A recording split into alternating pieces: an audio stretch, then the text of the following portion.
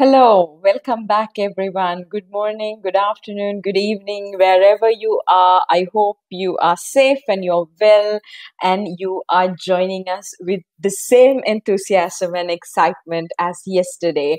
Welcome to the second part of the interactive virtual roundtable featuring ministers responsible for youth, representatives from partner organizations, and young people themselves. My name is Jayathma Wickramanayake, and I am the United Nations Secretary General's Envoy on Youth. Me and my office, we are one of the co organizers of this forum. So I'm so glad that all of you are here. Yesterday, in the first part of this session, we welcomed more than 60 speakers for a jam packed three and a half hours in which we started discussions on the active role of young people in building back from COVID 19 towards more inclusive societies. We also launched the first Youth 2030 Progress Report on the implementation of the UN's first ever youth strategy. So, if you haven't already checked it out, please go to the website and check that out. There's a lot of interesting information there. Now, yesterday we covered a number of SDGs. Uh, we covered SDG 1, SDG 2, SDG 3, SDG 8, SDG 12. And today we are going to cover SDG 13 on climate action, SDG 16 on peaceful, just, and inclusive societies, and SDG 17 on partnerships. Same rules apply today because we have so many speakers lined up. We ask for your kind understanding in applying the strict time limits on all interventions, both pre recorded and live. We are truly delighted about the record number of high level speakers and youth representatives this year.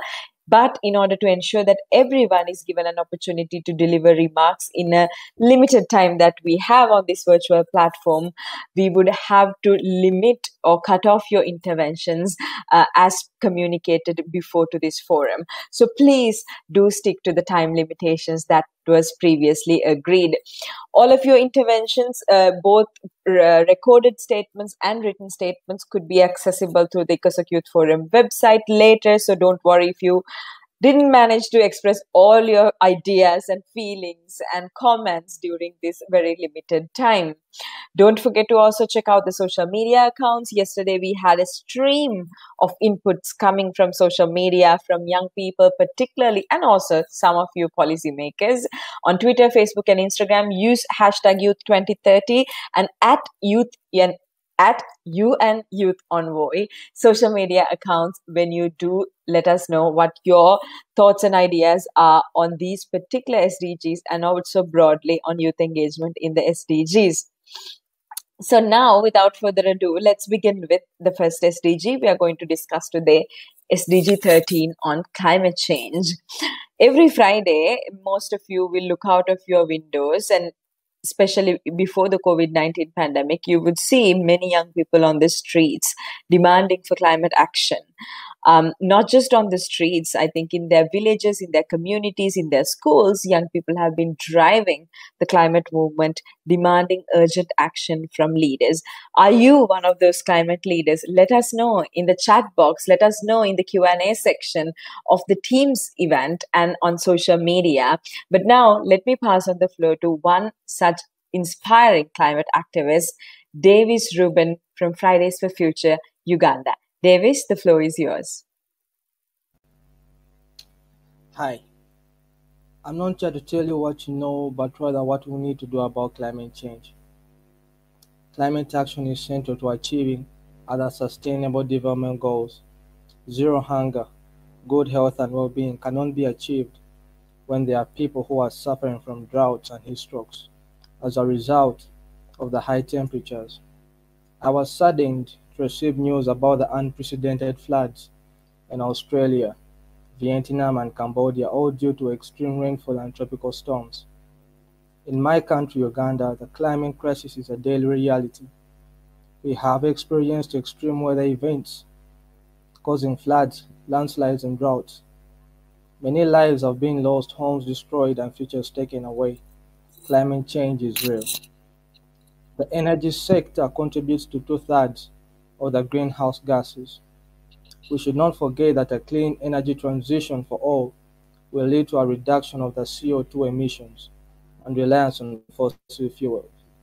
Governments must stop all new investments in coal, oil, and gas. To build resilient and sustainable communities, we need increased investments and incentives in development of cleaner energy to make it affordable even to the low-income earning communities. There is a crying need for system change that should be addressed. Fellow Earth citizens, climate change is a disease that is eating away our planet brick by brick. Leaders must get out of the comfort zone and face the climate emergency. Global cooperation is needed in this, in this fight.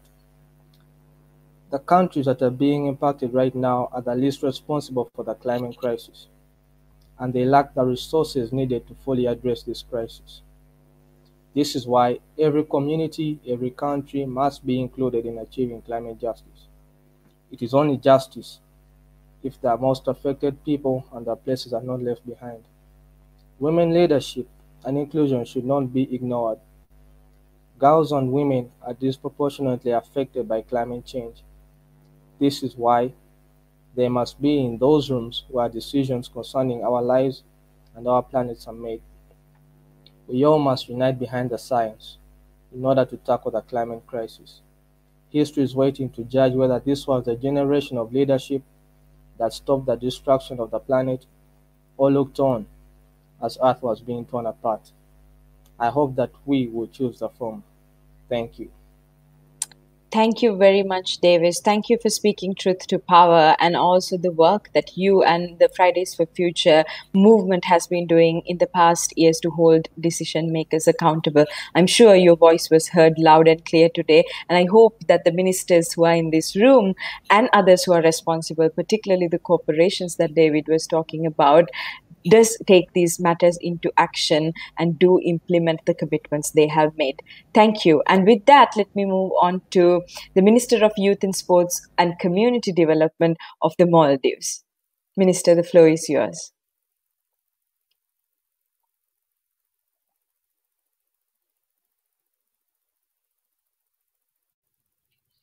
Bismillah Rahman Rahim. Excellencies, ladies and gentlemen, Assalamu alaikum.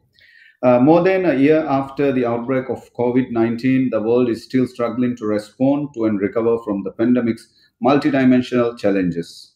In Maldives, the livelihoods of thousands of young people employed in various sectors, namely the tourism industry and related services, were disrupted. They are currently navigating the loss of income, access to healthcare, social isolation, and exclusion with disruptions to education and training. These challenges threaten to unravel the progress made towards achieving the SDGs with and for youth. Excellencies, the government of President Ibrahim Mohamed Solih has placed young people and sustainability at the center of its development policy. To help address the socio-economic impact of the crisis, the government of Maldives developed a relief package worth 2.9% of our D, of our GDP, including financing facilities for businesses and households in the tourism and fisheries sectors and social protection measures for vulnerable communities. The government is also drafting a youth bill to promote and protect young people's rights and including increasing youth representation in decision making. Excellencies, we welcome the key role that young people in tackling climate change and raising ambition of governments on climate action in, in the lead up to COP26 in Glasgow. Indeed, young scientists and engineers have been advancing climate smart technologies and pioneering more sustainable infrastructure solutions across the globe, which have far reaching co benefits across all SDGs. The Maldives remains committed to a youth-led implementation of 2030 agenda and supports the United Nations Youth Strategy 2030 while building back better from the pandemic's lingering effects. We need more partnership to re- reorient our economies towards a more resilient and sustainable model that effectively engages young people along the chain of prevention, preparedness, response, and recovery from future challenges. We join all of you on this collective aspiration for achieving more inclusive, fair, and resilient communities. Thank you. Thank you very much, Minister. And also, a country that is affected deeply by climate change. We are really excited to see the efforts you are making to include young people in decision making related to climate action. Thank you for, for your work. With that, let me move to the government of Italy, the Minister of Youth, Minister for Youth Policies of Italy. The floor is yours. Good morning, everybody. I am very pleased to participate in this meeting of the ECOSOC Youth Forum that celebrates its 10th anniversary. The COVID pandemic has disrupted every aspect of our lives, especially the lives of young people. It has imposed strong limitations on autonomy and sociality by reducing the spaces for participation and encounter Young people are perhaps the group most severely hit by the containment measures. In addition, the pandemic has increased inequalities. Participation is the main objective of the European Youth Strategy 2019-2027, to which the youth policies of the Italian government are inspired. It is fundamental that young people are involved and meaningfully consulted in relation to policies that affect them.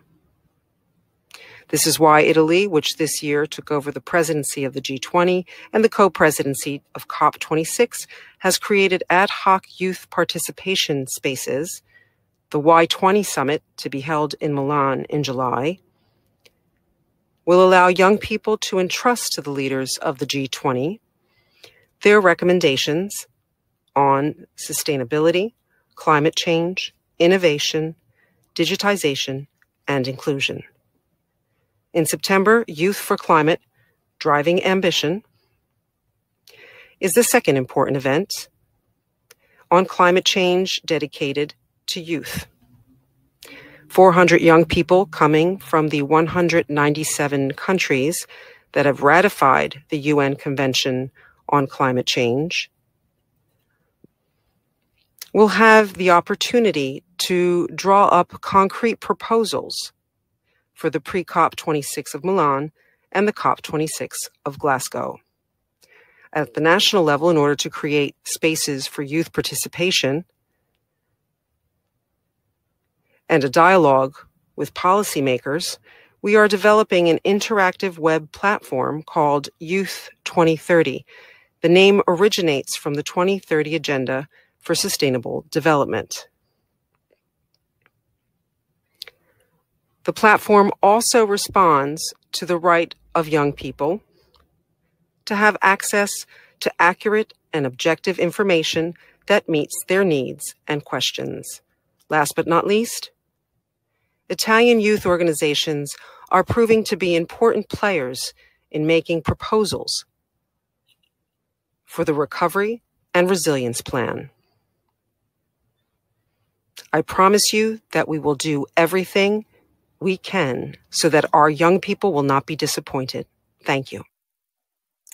Thank you very much, Minister. There is also a lot of action happening in the chat. And we have, for an example, Sakshi Krishna from India saying that I have started a climate action initiative called My Earth in India to spotlight the impact of climate change on the lives of indigenous people.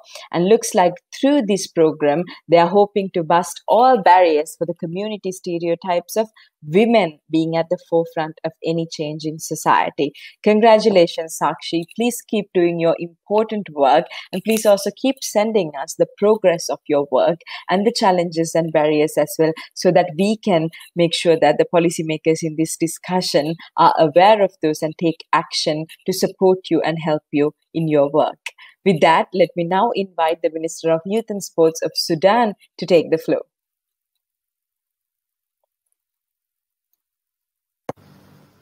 بسم الله الرحمن الرحيم أيها السادة وزراء الشباب دول العالم كافة اسمح Ministers, ladies and gentlemen, allow me first of all to congratulate youth around the world uh, for this opportunity to participate in this forum. We wish that these efforts continue and their effective contribution to address the challenges facing young people. Ladies and gentlemen, ministers, today I represent a new Sudan, following one of the most greatest and most noble revolutions of modern times. The young people of Sudan, young men and women, have made success, uh, reached a success that will go down in history with will and sacrifice and determination to put an end to an atrocious dictatorship. And they did it with a, in a peaceful manner, with a message whereby peace and efforts for peace are the best ways of building a community.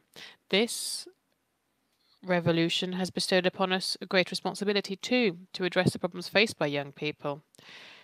This is why we believe the SDGs are an excellent foundation to ensure that young people can participate uh, in reform efforts, institutional reform, for example, and reform on young people's rights to enact those laws that would allow that would empower young people and guarantee their rights, creating statutes and policies and structures uh, in order to strengthen the role of young people so that they have a seat at the table for decision making.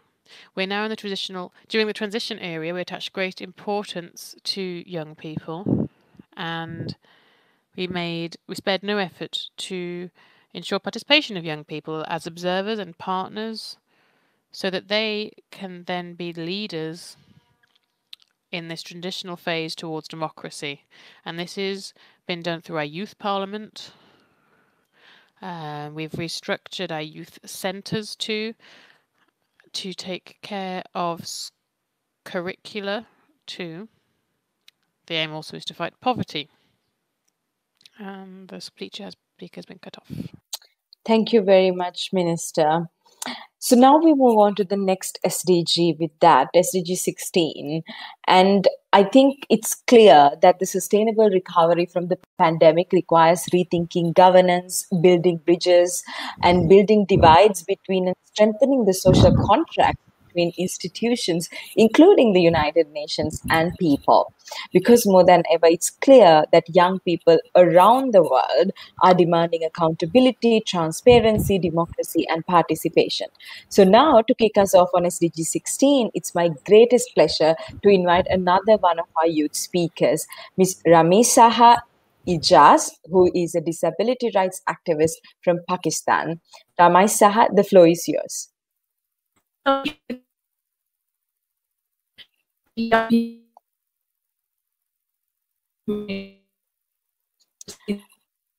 think we are having a difficulty in um, receiving your feed, Ramisa. Probably your connection is not that strong.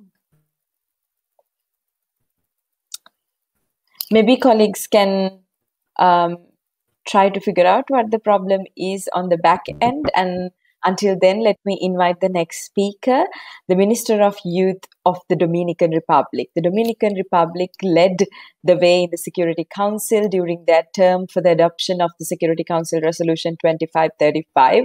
So I'm very excited to invite the Minister now to speak about the topic of SDG 16 and youth involvement. Minister, the floor is yours.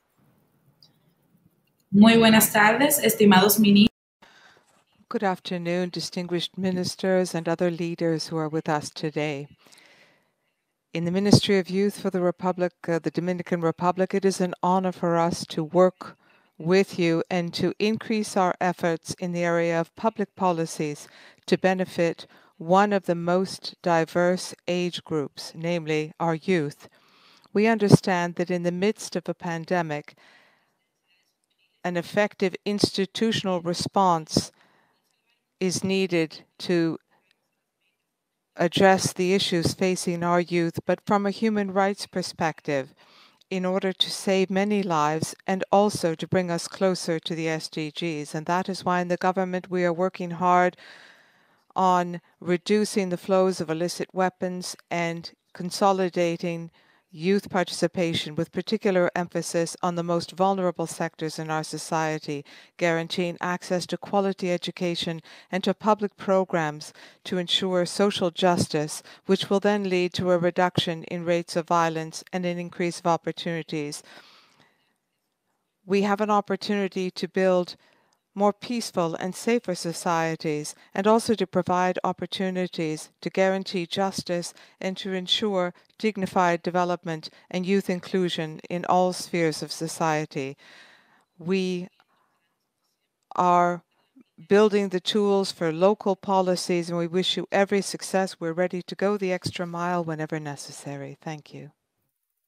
Thank you very much, Minister. Next, I am honored to give the floor to another big supporter of the youth agenda, politically, financially, and in in many ways. Uh, it's my pleasure to welcome the Minister of International Development and the Youth Delegate of Human Rights from Norway. The floor is yours. Thank you so much, uh, Yayatma, Madam Chair. Uh, youth delegates uh, and ministers, COVID 19 has fueled geopolitical uh, friction, and young people are disproportionately affected by conflict and crisis. Thus, it should be obvious that youth are given a crucial role in preventing conflict and building sustainable peace. Youth involvement is, is, involvement is not about ticking boxes or to put a group of young people on the stage in the beginning or in the end of a conference. You really need to foster meaningful dialogue and partnerships between young people and other stakeholders. So therefore, it is key for Norway to work for youth participation and in close dialogue with youth-led organizations and to facilitate for, for an active civil society role also. So um, I, for my part, found it very useful when I met with Norwegian youth organizations in our common preparations of this uh, very forum the pandemic has shown that we need the leadership of youth more than ever. And you are not leaders of tomorrow. I would like to say that you are the most important voice today. And I'm thus more than pleased to share my speaking time with one of Norway's youth delegates to this forum, Sandra Skiake from the Norwegian Children and Youth Council. So, Madam Chair, if you please allow me to pass on the word to Sandra. The, the floor is yours. Thank you. Thank you, Minister. Madam Chair, Ministers, and youth delegates. My name is Sandra, and I'm talking to you as a youth delegate from Norway. First, I want to uh, address the importance of including youth in the work with the SDG 16 peace, justice, and inclusive institutions. Youth are the ones who will assume the responsibility of the agreements that are being signed. Therefore, we need to keep working on meaningful youth participation and accommodate for youth to organize. The work should be done by continuing the important work on Resolution 2215 on youth, peace, and security. Secondly, the COVID 19 pandemic is much more than just a health crisis. The pandemic has forced more than 1.6 billion youth out of school, many that will never return. The pandemic also inflicts a heavy toll on young workers, ending their employment and impairing their career prospects. Lastly, COVID-19 pandemic is linked to the three planetary crises of our own making. The climate crisis, the nature crisis, and the pollution and waste crisis. I encourage decision makers to scale up your NDCs while also focusing climate finance on adoption. The recovery from COVID-19 has to be sustainable, green, and equitable to the needs of the younger generations in order to ensure a sustainable future without insecurity and without conflict. Thank you. Thank you, Sandra, for those very valuable inputs and especially calling for the inclusion of young people in the NDCs of national governments and all those young people who are watching us. If you don't know what the NDCs are, they are the nationally determined contributions of your governments and they are they must be working on them right now. So reach out and try to get involved and make sure that your voices are being heard. Also, by uh, Norway's seat in the Security Council for the next two years, we hope that Norway will continue to champion this agenda for years to come. With that, let me now pass on the floor to another champion of the Youth Peace and Security agenda, the architects really behind the Resolution 2250 that Sandra referred to, the government of Jordan. The Minister of Youth, the government of Jordan, the floor is yours. Excellency, is good day. I was advised to address SDG 16, peace, justice, and strong institutions in my intervention today. And coming from Jordan, I believe this topic is essential. To start with, I would like to invest this opportunity by inviting all attendees to once again remember the Amman message, which is His Majesty's King Abdullah II's statement to call for tolerance and unity. It clarifies the true nature and image of Islam. I would also like to remind all attendees of the historical UN Security Council's resolution 2250, Youth, Peace and Security, a tremendous effort that was led by His Royal Highness Crown Prince Al Hussein bin Abdullah. It redefines the role of youth in achieving peace and it sets general guidelines upon which policies and programs should be developed. The SDG 16's title consists of three parts. The first being peace, which is our core value as the Hashemite Kingdom of Jordan. We believe in achieving peace, and our diplomatic efforts in all the past years focused on achieving peace in all places, states, and regions. We in the Middle East know how important and vital achieving peace is, and it cannot be achieved without solving the Palestinian issue, which is a central issue for Jordan and its Arab counterparts. Our only way to achieve a fair and just solution is through peaceful dialogue that leads to the establishment of a sovereign Palestinian state ruled and governed democratically by the Palestinians and according to all the UN resolutions concerning Palestine. Regarding justice, we in Jordan are asking the question of justice on multiple occasions and fronts. Lately, during the COVID 19 pandemic, justice was not present. Jordan, among other countries, and as a country with limited resources, has had a very troubling path in ensuring that Jordanians are getting vaccines. Justice should be manifested during the most difficult times and circumstances, especially now in providing fair amounts of vaccines. Thank you very much, Minister, for your intervention. Let me see if we can bring back our youth representative now, Ms. Rami Saha Iljaz from Pakistan. Rami Saha is a disability rights activist, and let's hope that we can connect her this time. Yes, there she is. The floor is yours. Hello, thank you for the kind introduction. Uh, we, young people with disabilities, belong to one of the most marginalized communities in the world. We're often denied the most basic rights, including the right to education, right to equal participation, and even the right to life. Being a young woman with an invisible disability, I've been bullied, harassed, questioned, and even electrocuted as a mayor to correct my mind. Throughout my life,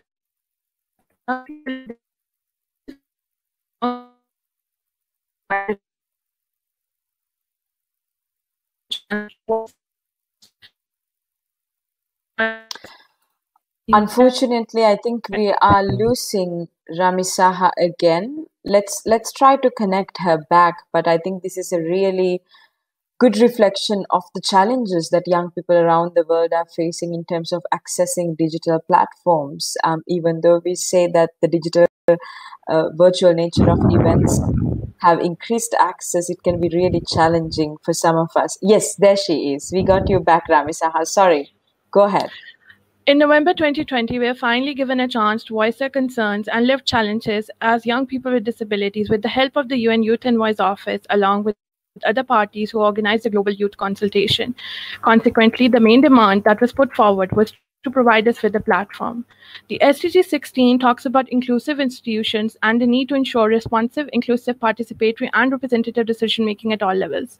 Inclusive participation and input from young people with disabilities will lead to the UN becoming a much stronger institute, as well as bringing about more justice in the society for youth with disabilities who are often overlooked. The COVID 19 and lockdown measures across the globe have widened the gap of accessibility and inclusion for youth with disabilities.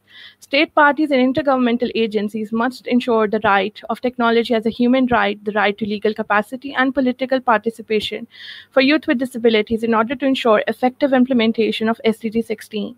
We must be included in all policy-making spaces with dedicated, accessible platforms within all intergovernmental systems and within all UN agencies.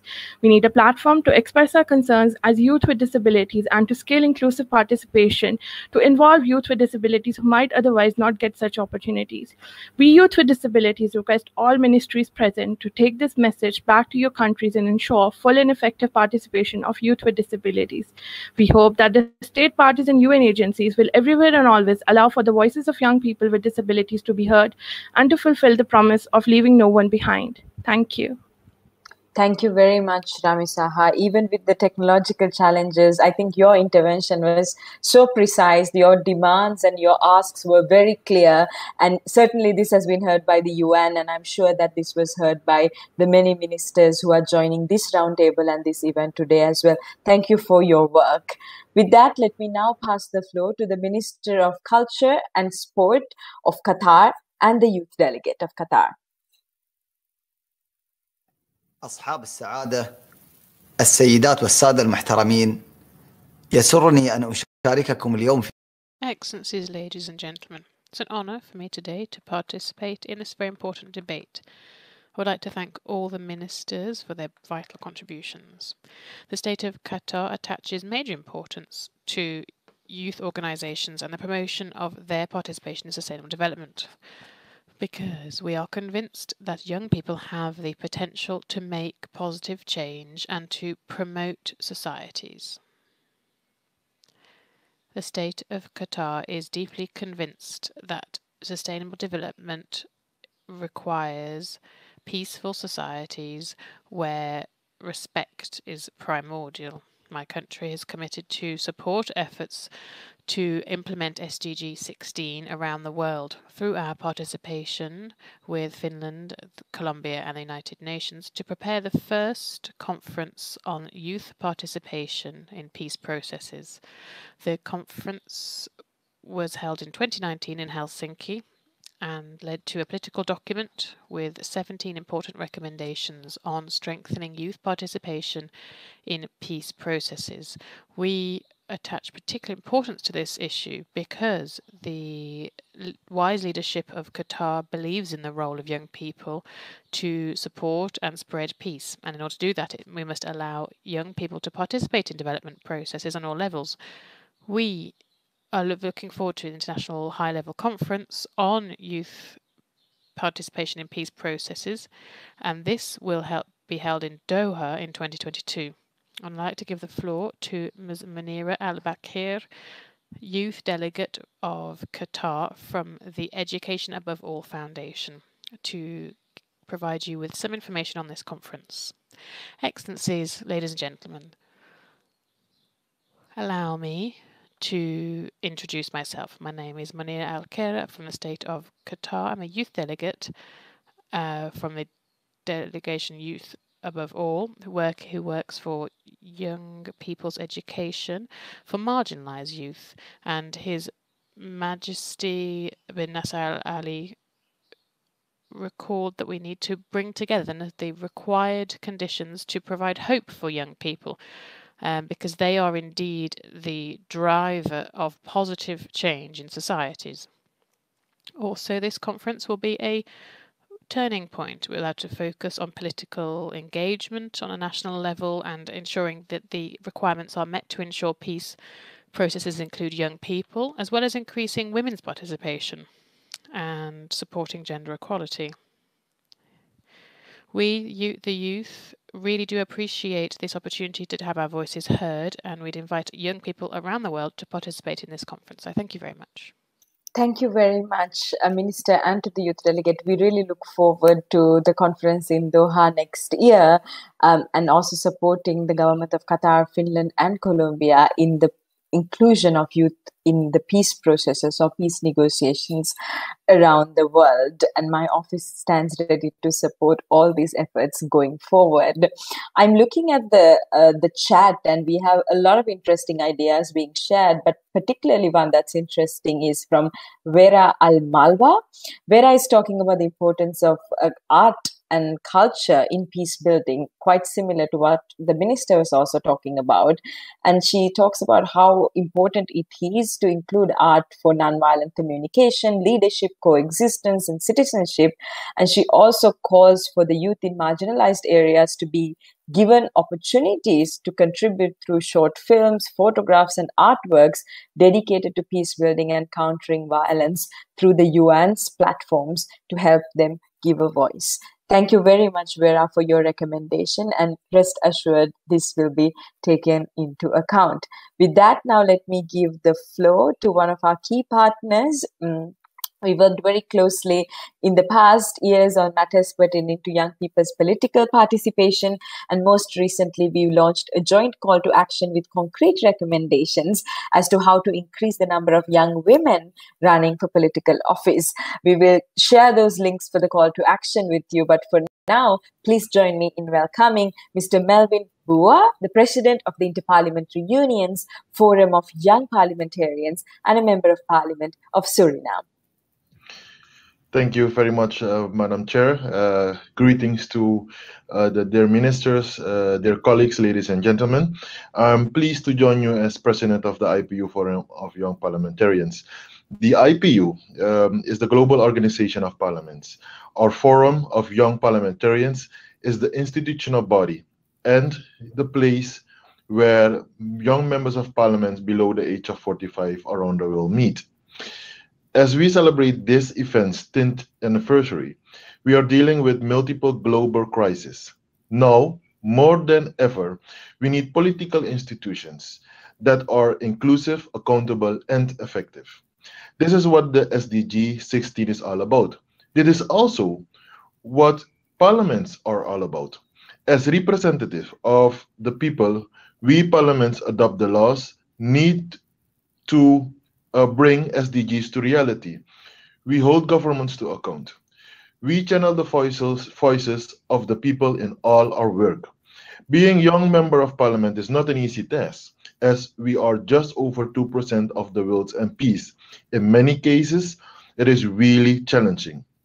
As we promote advancement toward achieving the SDG 16, these low proportions of youth in parliament are simply not ideal when we talk about uh, that we need to promote inclusiveness and participation for development. Empowering youth institutions is not only the right thing to do, but it is also the smart thing to do, the smart thing to tackle in the challenges that we face. Therefore, it is very important that we need to work towards the enabling of young people, young potentials, uh, empowering young leaders, young MPs in several leadership roles. We call for parliaments to be gender sensitive and to fit the life cycle that needs that we need as young people. Although young people are, are underrepresented in parliaments, young women in particular face double discrimination less than 1% of world's MPs are under the age of 30. To address this, we recently teamed up with the UN Envoy on Youth to promote and support young women's participation. Our joint call to action was launched this month, last month. In addition to the ECOSOC Forum, uh, Forum's 10 years anniversary and the 2020 in 2020, we also celebrated 10 years of IPU's work to empower youth. Let's enter this decade together, the coming decade, and level up our co co co collaboration so that we bring these solutions to life. I thank you and wish, wish you very luck. Thank you very much, Honorable Member of Parliament. With that inspiring message, let me pass the floor to the Minister of Youth and Sport of Egypt. Minister, the floor is yours.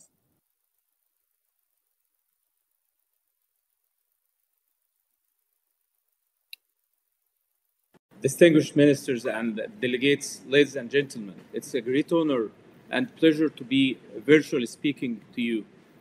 I look forward to the day we all gather in person soon as the pandemic settles. However, realistically, the limitations and challenges of this pandemic has challenges has presented challenges in sustainably developing our nations. The Ministry of Youth and Sports of Egypt and Egypt's national youth strategy has to develop and evolve to ensure that the youth, which is one of the most valuable assets in Egypt, is empowered, interconnected, and accomplished, especially after the pandemic. Accordingly, I have overseen over 140 programs for youth, with additional 140 programs to be implemented by the end of this year.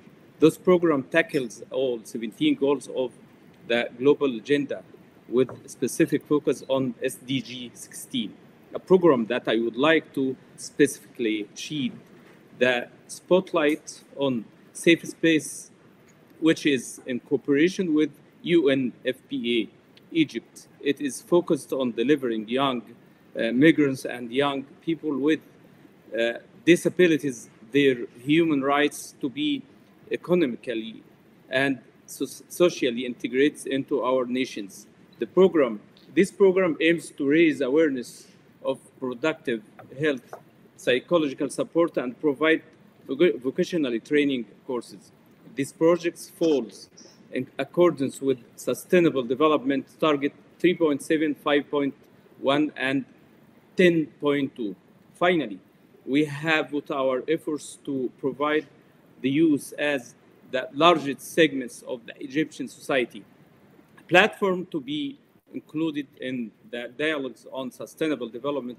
The Ministry of Youth and Sports update the national strategy for youth and uh, adults for the next five years. This update is inclusive of youth in various governance, ensure diversity of backgrounds and that no one is left behind.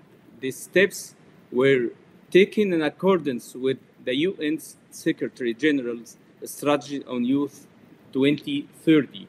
His Excellency President Abdel Fattah al-Sisi works as sincerely to achieve the global goals, and the leadership is keen on caring for the youth and raising, raising their level of culture awareness. I included by emphasizing, emphasizing that Egypt will make every effort to enhance that rule, the rules of youth and work toward the Egypt 2030 strategy and strive for just and sound societies. Thank you very much. Thank you very Thank much, you very Minister, much, for your Minister, for your intervention. Intervention. Now let me Now pass let the me floor pass to the the Minister of the Minister of Education Education. of Peru.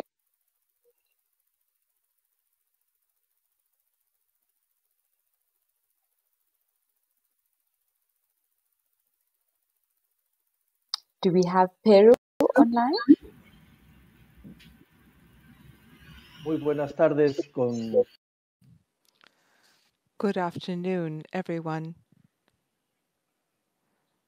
Greetings from Peru. It is an honor for us to participate in this international forum, and we're very grateful for the invitation. As you know, Peru is going through a particular political process in our transition government, and we've been doing that for some months now. However, this has not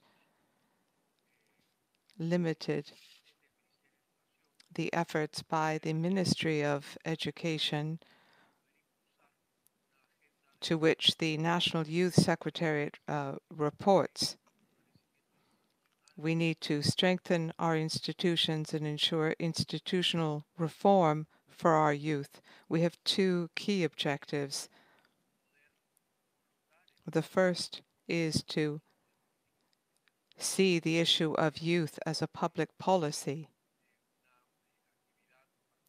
This is not just one of the activities of our sector, but it is a priority matter for discussion. And these decisions which we are taking can clearly become public policies. And the second approach we are taking has to do with the institutional architecture and how it impacts our youth, namely as they face uh, severe inequalities. They represent 25% of our population and they don't have the same opportunities. And these inequalities, which initially were vertical, are now horizontal inequalities, inequalities across the board. Youth were seen as a homogeneous group, but now there are great gaps within that group. There are differences between the urban and rural youth, but also differences within urban areas and differences within rural areas. In the Ministry of Education and in, in the National Youth Secretariat, we hope that the incoming government, which will begin its work in July, we hope to give them a National Youth Secretariat which is much stronger and which has put our youth on our agenda of public policies as a priority. Thank you very much, and thank you very much for holding this forum. Thank you, Minister, for sharing with us what you are doing in Peru. Now, we're jumping on to the next SDG, the SDG on partnerships. Um, in every statement from the beginning of this segment yesterday, partnerships were discussed. That's because without partnerships, we cannot really achieve any of the SDGs that we were talking about. So, without further ado, I want to give the floor to someone, a young leader who is showing the way in her community and in the global stage when it comes to forging partnerships, not only to support her school, but also to support the young people in her community. Please join me in welcoming Ms. Asil Sabo. Asil is a UNRWA, if not the United Nations Relief in the Near East. That's the long term of UNRWA. And UNRWA has a student parliament for the students who are going to the UNRWA schools. And Asil is one of those student parliamentarians. I'm so honored to give the floor to Asil now. Excellencies, fellow youth, ladies and gentlemen, my name is Asil Sabah. I am a 17 year old Palestine refugee from Lebanon. I study in one of the schools operated by the United Nations Agency for Palestine Refugees, UNRWA. My peers elected me as a member of the first ever UNRWA agency-wide student parliament. The UNRWA parliament represents over half a million Palestine refugee girls and boys studying in UNRWA schools in Lebanon, Syria, Jordan, Gaza, and the West Bank. Partnerships under SDG 17 are the glue for the successful implementation of all SDGs, and young people can be the glue of society. They can connect old and new and contribute ideas and energy to societies. Youth-led and youth-focused organizations like our UNRWA Youth Parliaments have a lot to contribute with when it comes to partnerships. UNRWA School Parliaments are an example of a democratic practice, organization, and representation. Elected representatives engage together across borders, conflicts, and blockades to connect young Palestine refugee, refugees in different countries. However, connecting youth with each other and with decision makers from different parts of the world requires giving them access to technology. All young people have to have access to internet and devices to be able to contribute, engage, innovate. 90% of young people live in developing countries. They should not be left behind. COVID 19 gave the world a huge lesson in how everyone matters it is a huge reminder that the world is connected and we all play a role in making it better. I am lucky to be a part of an organization that encourages youth to participate and be involved in decision making. I'm grateful to the UN for giving me the chance to speak. But I'm wondering how many voices are still waiting to be heard? After all, our future depends on the successful implementation of all SDGs. Young people are the key to the realization of the SDGs. As a representative of Palestine refugee youth, my message for you is that we want to contribute to change, like young people everywhere. Young Palestine refugees are like all young men and women, are change makers. We too are the future. Thank you. Thank you very much, Asia. Um, for you and the work that your friends at the student parliament are doing. And my visit to palestine two years ago and meeting many of your fellow youth student parliamentarians in the west bank and gaza remains one of the highlights of my time as the youth envoy of the un and i want to congratulate you for all the work that you are doing. Uh, now let's move on to our next speaker which is the vice minister of youth of the ministry of culture and youth of costa rica. Excellency the floor is yours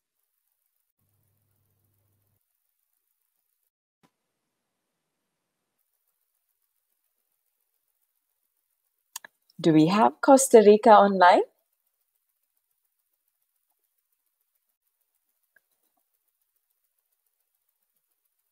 Hola, buenas tardes, distinguidas. Hello, good afternoon, distinguished delegates. In Costa Rica, our youth represent 40% of the population and they face many inequalities. In order to tackle these challenges, since 2002, we have had a general law on young persons which drafts our public policies. Public policies for young people 2020 to 2024 was co-created with youth from the drafting phase through the methodological design, and it included a participatory consultative process and final adoption in which youth from civil society were involved. This public policy is new and given its high participation of young people from throughout the country and from different groups young people, young indigenous people, Afro descendant people, migrants, refugees, those deprived of their freedoms, rural youth, those with disabilities, and LGBTQ. Throughout the process, we have worked with a number of institutions and organizations, including the UN system agencies in Costa Rica. As a country with a considerable and recognized democratic tradition, we believe that crafting this broad, inclusive, and participatory public policy for youth has meant that this policy should take account of their diversities, their distinctions based on age ranges, and this, their specific uh, approach to rural and urban ecosystems. We also have a gender-based approach as well as a territorial-based approach. We address social justice and sustainable development. The plan of action involves 54 institutions with more than 300 actions focusing on four key strategies. And currently, we are developing an IT system to monitor and assess the public policy and its plan of action with direct participation of young people from civil society. I would like to extend an invitation to the Secretary General's envoy for youth in Costa Rica to participate in the National Council for Youth Forum. It's a high-level forum which will be presided over by the President of the Republic. And it would be an honor to have you with us as we commemorate the independence bicentenary of our Central American region. Thank you. Thank you very much, Minister. Thank you for also your invitation, and I look forward to working with you in the future, and of course participating in the session of the of the Parliament, uh, online or offline, as as COVID nineteen situations permit.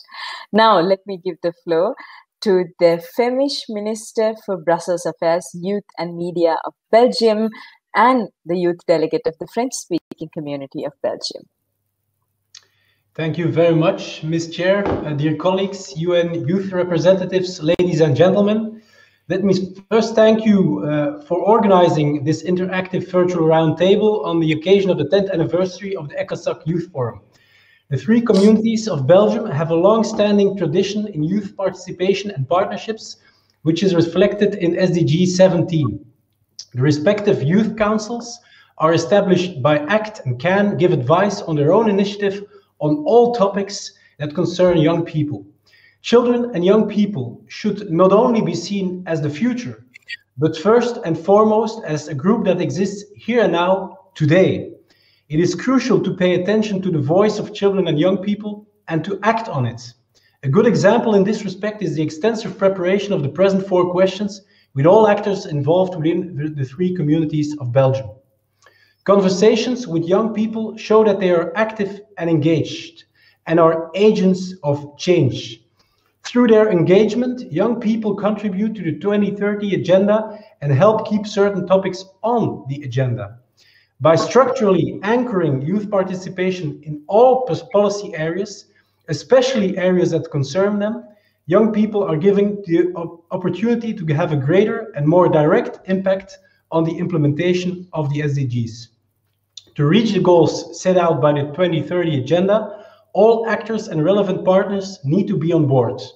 The National Commission for the Rights of the Child in Belgium is currently running a process for and together with children and young people to translate the concluding observations for Belgium in a way that is tailor-made for children and young people and establishes an explicit link with the SDGs in the final reflections.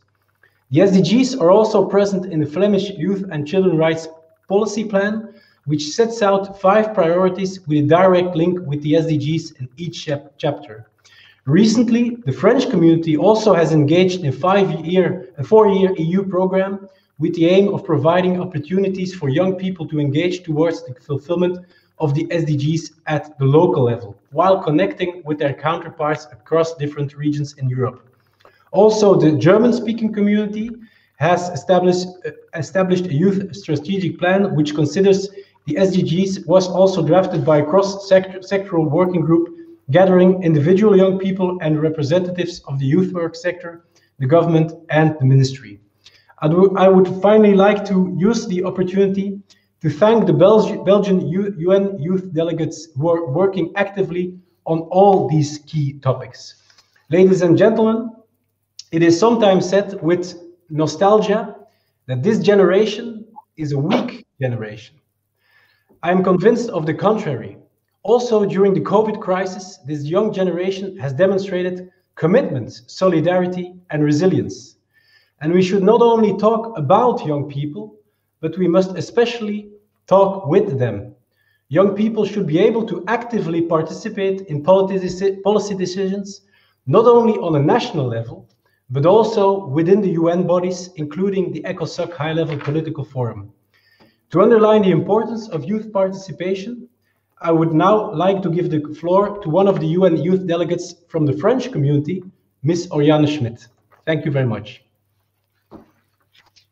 Dear Chair, Mrs. Hayat Mawi dear Excellencies, dear fellow delegates, ladies and gentlemen, it is my honor today to take the floor together with the Minister Benjamin Dalle to present the work of Belgian UN youth delegates in relation to the SDGs.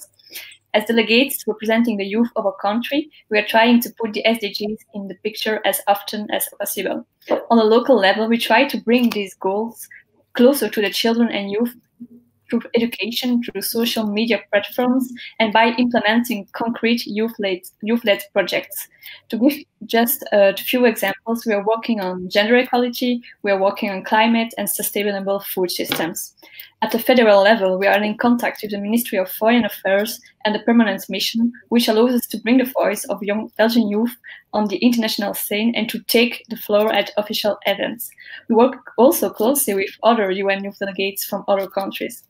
In 2020, the Decade of Action called for accelerating sustainable solutions to deliver the SDGs by 2030. The COVID-19 pandemic has disrupted every aspect of our lives and hit vulnerable groups such as young people. This didn't affect young people engagement. Young people are agents of change and they deserve a seat at the table. The, the Agenda 2030 needs to be implemented together with young people Thank you very much, Oriane. I think we ran out of time, but we really appreciate your contributions and we also look forward to putting your statement online in the ECOSOC Youth Forum website so others can see it. With that, I want to pass the floor to another important partner of ours, the Y20 chair from 2020, Mr. Othman A. Almoamar.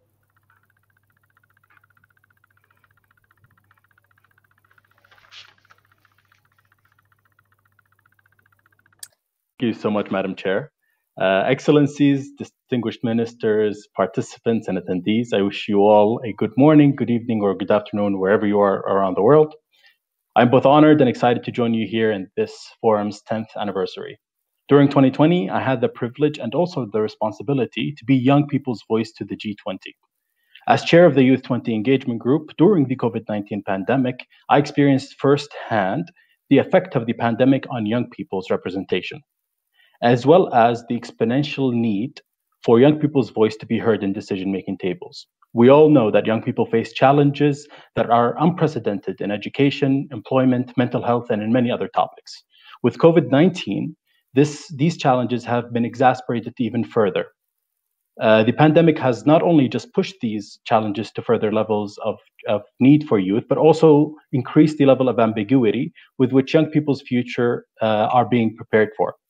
This is why in 2020, myself, along with 77 uh, delegates from 23 countries, as well as four international organizations, drafted the youth communique, a COVID 19 statement, and three white papers to really support young people's voice being heard at the G20 level.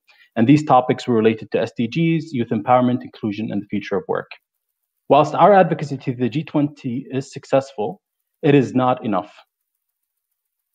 With 50% of the world's population being younger than 30, and the majority of which living in developing countries, it is imperative that we support and partner with youth, especially during the pandemic, as they are amongst the most vulnerable groups. This support could take on many forms, such as increasing young people's roles in the SDGs achievement, a cascaded initiative at the community level, or through looking at policies from a youth lens, or supporting an investment in pro youth initiatives uh, that tackle important topics such as education and employment. While we all in this forum believe that young people are the future, the preparation, support, and partnership with young people has to be started today. And that's in order to empower them to achieve the SDGs as well as live in a prosperous future. Thank you. Thank you very much, Othman, for that very precise and focused statement on what exactly needs to be done uh, from the lessons learned from the Y20 experience last year. I would now like to give the floor to a joint intervention from the Mexican youth delegates together with the Director General of the Youth Institute of Mexico. Buenas tardes a todas y todos. Good afternoon, everyone. On behalf of the Government of Mexico, I greet all young people who have made this youth forum possible. And I also greet the Secretary General Youth Envoy, Jayathma Wickramanayake. My name is Andrea Ruiz de la Mora, and I'm 22 years old and a member of the Mexican delegation for this forum as a youth delegate. I am pleased to be at this forum 10 years after its inception. We welcome the holding of this meeting, and we are pleased that over the years, this has become a forum for cooperation, advocacy, and participation of youth with, uh, as a global benchmark, bringing young people from all over the world together. We welcome it because in this context, more than ever, it's relevant to have youth participation in discussions and solutions. And we must continue to speak out in this forum to act and have it act as a benchmark for discussion in order to improve the decision-making process. We are subjects of rights and key agents of change, and we must open spaces to express our concerns, our needs, and above all, our contributions must be borne in mind as a result of, as we tackle the fallout of the pandemic. Now I'd like to give the floor to the Director General of the Institute. Good afternoon. Thank you, Andrea, for uh, being part of this delegation. It's an honor for me to be in this forum and to share with you what the government of Mexico is doing, particularly the Mexican Youth Institute. We are convinced that youth are the heart of change. Our government has invested the most in this sector of the population. We have youth programs, Building the Future, Youth Writing the Future. We also have specific programs in the context of the COVID 19 pandemic as we seek to address the toll on our mental health and our economy. In our Mexican Youth Institute, we've promoted two initiatives. One, Youth Contact, developed together with the Secretariat of Health and UNICEF to contribute to improving mental health for teens and our youth through professional involvement and the involvement of other youth through WhatsApp, and also to address issues of stress, violence, to provide uh, sex education and um, advice with regard to substance abuse. We are also promoting economic support in other fora. We have an educational network for solidarity and uh, social economy. We are contributing to the economic well being of our youth and giving them tools and skills for. Uh, to establish entrepreneurships. And we've also trained more than 3,000 young people, and we are providing them with seed money for projects. These two programs have one thing in common partnerships. It would not be possible without our interinstitutional uh, support. Today, we are convinced that the goals and the aspirations of Agenda 2030, the interpreter apologizes, the sound has been cut off. Thank you very much. Uh, I think we ran out of time. Thank you very much, Director General, for highlighting how partnerships have helped the Mexican Youth Institute to come up with exciting programs. Now, last but certainly not least, it's my pleasure to welcome the last speaker of the Ministerial Roundtable. I thank you so much for your patience throughout.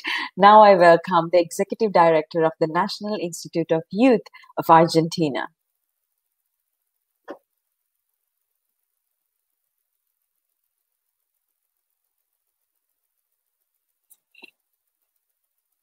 Do we have Argentina online?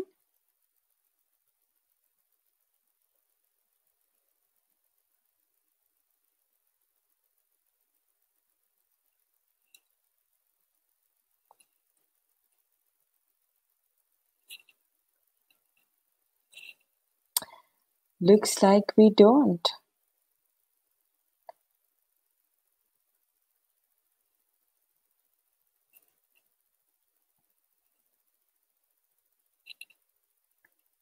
I think we lost Argentina. So we do not have Argentina right now. But I also want to mention that the minister of the transitional government of Libya was also online and we lost him at some point.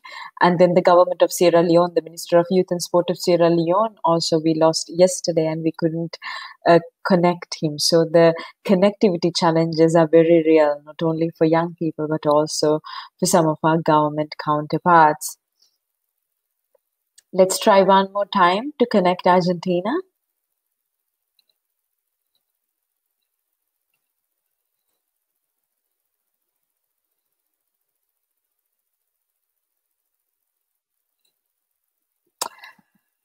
Unfortunately, I think it's not possible for us to connect at this time. Looks like the streaming is not working.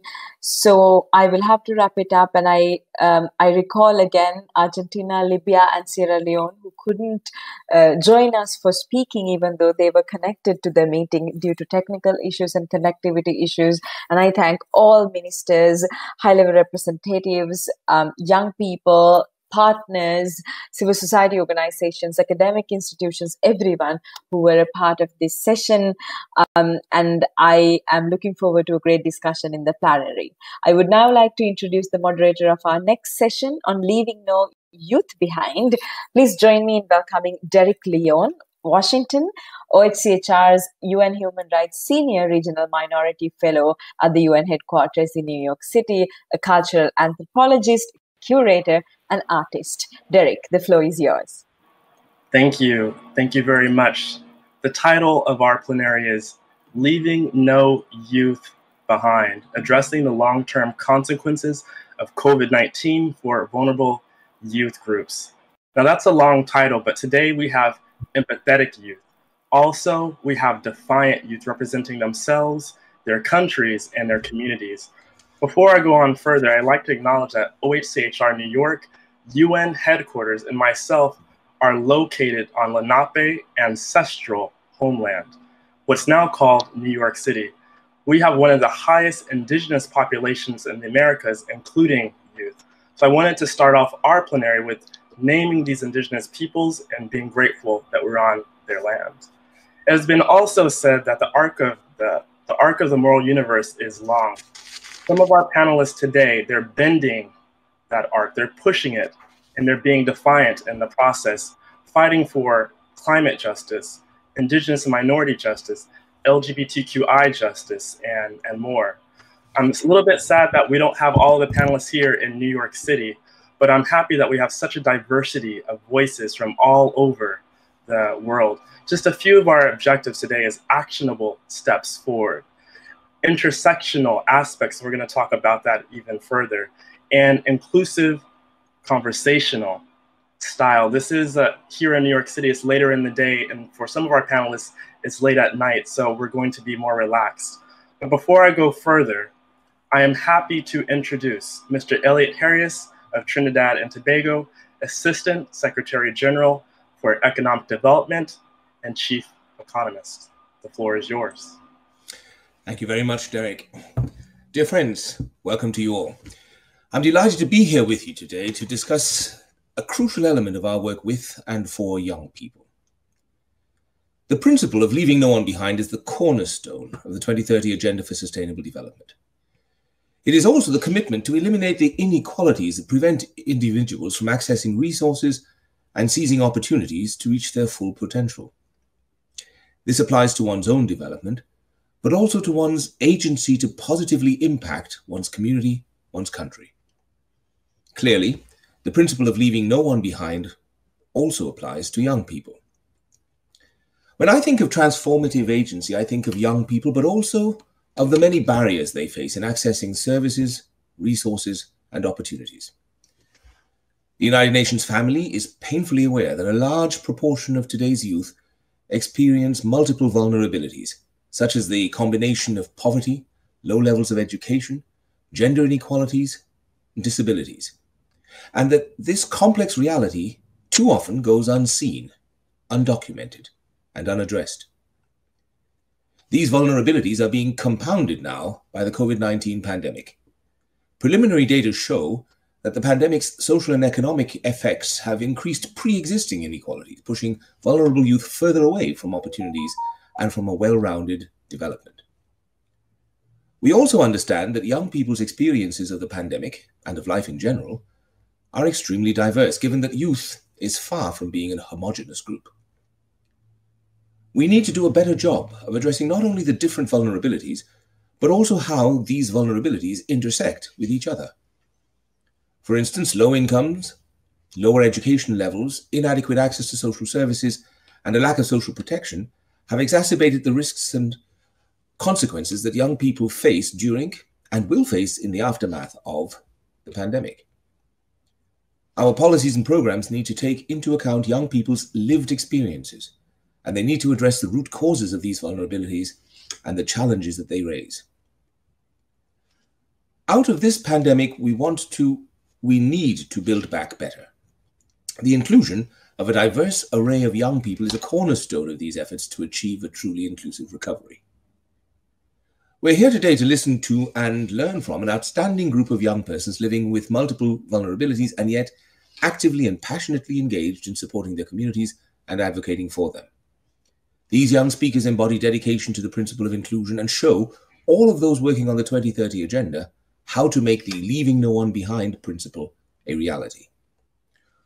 Although these stories shared today, and through these stories shared today, we want to foster an intergenerational dialogue with UN practitioners and identify concrete commitments for now and for the near future to help ensure that no youth is left behind in the global efforts to rebuild after the pandemic and to strengthen our shared resilience. To start this dialogue, we're joined by two UN colleagues working on the ground with young people. They will share concrete examples of how working with and for vulnerable youth can make a world of difference, both for individual youth and for their communities. I will stop here so that we can start listening to these amazing young speakers. I'll come back to you at the end to share a few quick thoughts. Thank you very much for your time. Thank you, ASG Harris. And I love how you said we build back together we build back better. And I think we'll be able to do that. And thank you for being present during this whole session. For the run of show, I'll explain. We have five amazing young persons, including two UN representatives. We'll first start with three of those youth speakers. We'll ask them questions. We'll ask three of those questions. Then we'll go to our final two youth and they'll give testimonials. And then also we will ask them questions as well. During that time in the chat, we want this to be as interactive as possible. Please send your questions or comments. For our two UN representatives, we have the UN resident coordinator in Albania and also the special rapporteur on rights to freedom of peaceful assembly and of association. Further housekeeping, this session is available in all six UN languages. We offer sign language and closed caption for interpretation. See the language button on the UN Web TV page in the bottom right corner of the main screen. Also, as it's been said through these past two days, is we have representation from all over the world. So there might be crying babies, there might be sirens, people might drop off, but we're going to be patient. For myself, I have three screens and also I have my cell phone as I receive notes. So as a dancer, I might be moving my head, but we're going to be patient. And again, we're so happy that we have so much representation. For our first youth speaker, Angelica Ojinaka, and she's interested and she has a passion for youth and for mental health. She's been worked on a grassroots level, mobilizing and building multilateral conversations that's inclusive. One of the many things that she has done is she's co-authored an international report on the experiences of girls and young women that has representation from 99 countries. So calling Angelica on the floor, the question that I ask that I pose is what brought you to dedicate yourself, your life, and your passions to vulnerable youth? Angelica. Thank you so much, Derek for your question and hello to all who are attending this historic global session. Just to introduce myself further, my name is Angelica Ojinaka and I would like to begin by acknowledging the traditional custodians, the Indigenous people of the land from which I'm speaking from in Sydney, Australia, the Wadawurrung people of the Darug Nation. I'm a 23-year-old Nigerian Australian youth advocate and founding member of the African Australian Youth Suicide Prevention Committee. I'm also a youth advocate member of the UN Major Group for Children and Youth and a former youth activist for Plan International Australia. My dedication to youth experiencing vulnerabilities comes from my realities in my own living experience. So, from the age of three to 20, I witnessed and experienced different forms of gender based violence. I became a young carer of a sibling with a um, disability as well, and have supported a single parent household and endured various mental health challenges and different forms of discrimination and exclusion along the way. But throughout my life, I've realized that the environments around me weren't created with my identity in mind and my community in mind. Instead, we're being considered an afterthought that doesn't fit into the status quo. And unfortunately, we've seen that the pre COVID 19 world has undeniably failed girls and young women like me with um, and many other youth with intersecting identities. It's failed to protect us, it's failed to listen to us, and it's failed to empower us. Within my own context and community, the COVID-19 pandemic has resulted in severe economic and social disruptions and increased anxiety and loneliness. And I like to use this um, description of feeling trapped um, and stuck in a maze of increasing worries and evaporating hopes about my future, our futures, um, and the way out. But what is hopeful, though, is to see the continued grassroots mobilization um, of youth for transformational change. This is truly what keeps me dedicated to ensure children and young people of intersecting identities are valued and engaged in non tokenistic ways. In my own work with fellow migrant youth of ethnic backgrounds that are similar and different to my own, we engage in local initiatives and devise supportive cultural culturally safe ideas that impact our social and economic well-being. And myself, like many other youth we view ourselves as reachable, not hard to reach, but the strategies that are used to engage us lack extensive continuous commitment. These strategies don't lean into enough into our individual and community resilience. And many young people feel like we're framed as just becoming adults rather than individuals, um, uh, equal individuals, regardless of our age especially for those who do experience gender based violence, trauma, and mental health challenges. So, my lived experience continues to drive me forward, and my community uses the power of experiences to mobilize action for changes to gender um, inequality, disproportionate mental health impacts as well. And with this being the historic 10th anniversary of the ECOSOC Youth Forum, I can attest to what I have seen and heard from communities this thus far that youth have already created the tables ourselves, tables where many intersectional identities are represented and heard. We are beyond now having a seat at the table in my opinion. We're not here to be commodified or be a tick box. It's time for governments and stakeholders and decision makers to provide a space for our own tables that we, that already exist that we have co-created and designed and join us on these tables that we've designed to foster further intergenerational dialogues center marginalized voices and reimagine programs and initiatives for economic and social recovery and build accountability mechanisms this all together will co-create and action our recommendations for a just and sustainable future for all youth thank you Thank you, Angelica. As I was writing down notes, I'm thinking that should be a song of a title, Not Hard to Reach. And it's also amazing as beyond a seat at the, the table, there's so much rich things that you, you said. And you were not calling people out and governments out, but you were calling them in. And I think that's what we're trying to definitely do today. So we will return to you. I, I have some more questions. I'm sure the audience does as as well. Again, thank you for your, your words and just um, how they resonate with us. Our next youth speaker is Nujeen Mustafa. And for the short period of time that I've known her virtually, um, since we've talked through our meetings, 8 a.m. meetings in New York City, and also as I, I did some research just on her story um, in Syria and then migrating to, to Europe, and just the intersecting obstacles that she's had, but also how not focusing just on those obstacles, but telling her story and showing how she and her communities rose to the challenge. So for Nujeen, I have a, question, a broad question is, would you be able to share just a few highlights of your journey and tell us about your, your current work, Nujeen? So, um, thank you, Derek, so I'm going to start with a bit of a formal introduction. My name is Nujeen Mustafa, and I'm from Kobani, Syria. Years ago, I fled the war in my home country and made it to my destination in Germany after crossing eight countries. The themes of intersectionality and inclusive participation, or lack thereof, have been a part of my life since I was born. And my experience as a person with, a disability could be summarized with one sentence I was not important enough. As a child, I was not important enough for schools to be made accessible to me. I was not important enough to be provided with any means or opportunities to grow or dream or build and achieve my goals.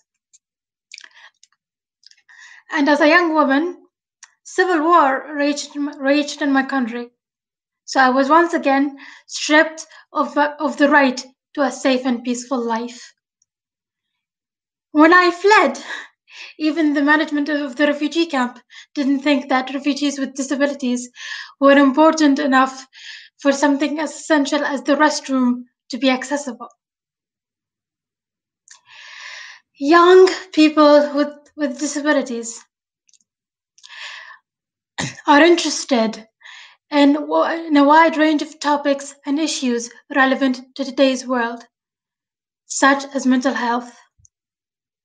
They have so much to offer, and every country, government, and organization would benefit from, from, their, uh, from their experiences, ideas, and proposals. Yet, their potential remains unfulfilled because young people with disabilities are still fighting for, for rights that other people take for granted, such as the right to inclusive education, access to assistive devices, and involvement in the policy and decision making processes. Um, youth with disability is still considered not important enough to be a part, to be a uh, to be a, a key role, a role player in on the and uh, on the international community stage. So it's um, in the ten years since the uh, since its inception, This is the first time that this forum has attempted to listen to the to the voice of a young person with a, with a disability. And yet it, it is still far from being accessible to everyone. And this is unacceptable. So I hope that this session will insp- inspire all of us to take action and be a part of the much needed change. Because young people with disabilities and their colorful identities are not a liability, but an asset in the collective effort to make the world a better place. Thank you so much. Thank you, Nujeen. And I was taking notes and I was trying to look at the dot to make a eye contact as well. And I love how you use first person language, as you said, persons with disabilities. And I want to highlight that in, in, our, in our, our talk as well. I do want to say that you are very important enough, and, I, and again, I'm going to go back and circle through some of the great ideas that you uh, said.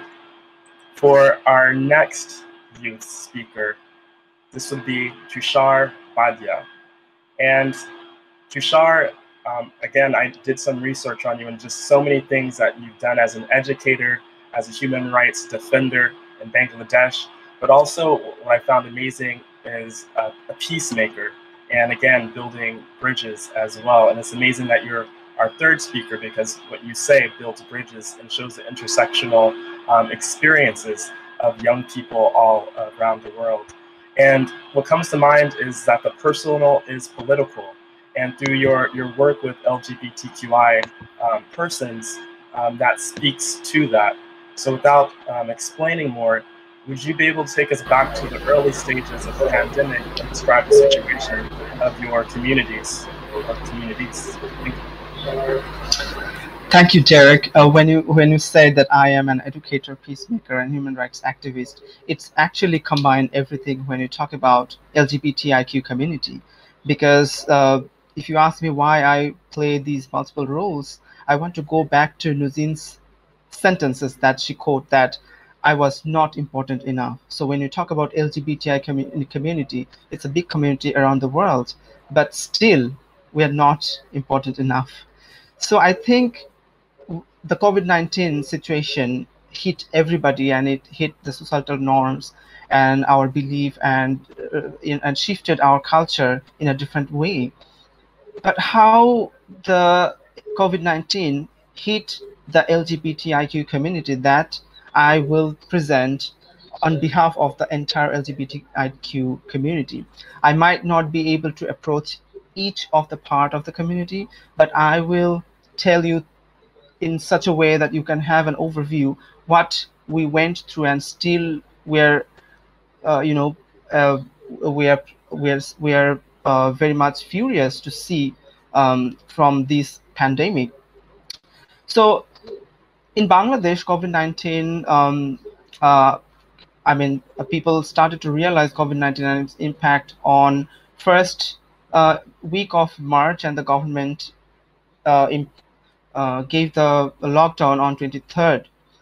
From 23rd March, it took 14 days for the government to start distributing the relief package to a different vulnerable community and also for the mass community. But the day we started seeing that the lockdown is imposed, we started taking initiatives, and it took us only one day to start giving support to marginalized community, vulnerable community. Now, when when we see that the government took 14 days to react or to uh, help the vulnerable groups, we were thinking whether uh, who should be in the position of power and courage and preparedness. So I think youths were there and the people who worked for the community, the youth youth people, they were there and they were prepared more than the government for this pandemic. Now, when when we when we started distributing uh, uh, food package and started uh, going to seek uh, who is actually there uh, who need uh, support, it was very interesting and it was very frustrating that no not a single contact, direct contact was there in the store. It, it is not with the civil society. It was not with us. It was not with any government officials or government office who support the marginalized community. For instance, when we started uh, uh, collecting money from different uh, crowdsourcing platform and we were ready to support the local LGBTIQ community, we found that there was no contact of the transgender community in different social welfare agencies or different, uh, you know, uh, act, uh, NGOs who work with transgender community. One reason is that many of us are actually scared of breaching of data privacy you might be aware that Facebook's data uh, has been leaked and maybe millions of users' data is now on public record. So maybe because of that, many people think that this LGBTIQ community is much vulnerable and if we collect and store data, they might be more vulnerable and they're not ready to safeguard that data and take the responsibility. So I think from that, there was no data and we had to run here and there and work overnight to check uh, who is the potential beneficiary and who is suffering. Uh, now, we had a benefit because Bangladesh has the largest uh, mobile financial services in the whole world. And during the lockdown, where there was no scope for us to go and support in person. So this mobile financial service helped us. And through that, we started collecting different mobile phone numbers. Now, there is another story, not all of them have a mobile phone. We know that SGD, um, uh, SDG 5 um, and um, uh, gender equality also have one uh, sub goal that empowering women through digital device, maybe a mobile phone. So I'm I'm I'm pretty sure that everybody is know how much important it is um, to have a mobile phone nowadays. So I was it was very frustrating to know that even a, a majority number of the transgender committee members in Bangladesh was not having a mobile phone. So we had to contact with them via their brother, sister, cousin, or maybe a store that uh, that is situated near to them. So it was very much new to us, but I think that if the government's database, if it was there, that could be a help for us. Now, the same situation happened in Indonesia as well. There were more than 600 transgender community members who were struck in, in Jakarta last year, and they were not given uh, any food relief packages because they they were not having an ID card because of their gender identity. They were transgender and they were not given any identity card. So data privacy and uh, you know um, acknowledging the identity of LGBTI community is much more important, not for the future, but also to tackle this sort of pandemic in future. So you know, if you don't have any large uh, if you have a large community without any identity, without any identity card, without any data, how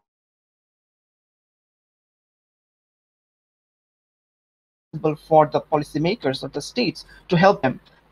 Now, a part of the data privacy and the legal recognition of LGBTIQ community, I, I want to highlight some of the acts, the government initiatives, and um, uh, and the militaristic, militaristic approach that various government took. For instance, in Philippines, uh, people of LGBTI community were harassed. They were forced to live and uh, uh, act in degradative manner uh, just because they were LGBTIQ community and people were furious.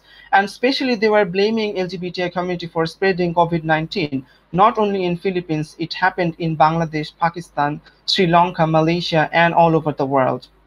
In Korea uh, for instance uh, one LGBTI person was was uh, in in in in viral mode in uh, various platforms because uh, he was being exposed to public as a COVID-19 positive and a gay a gay man.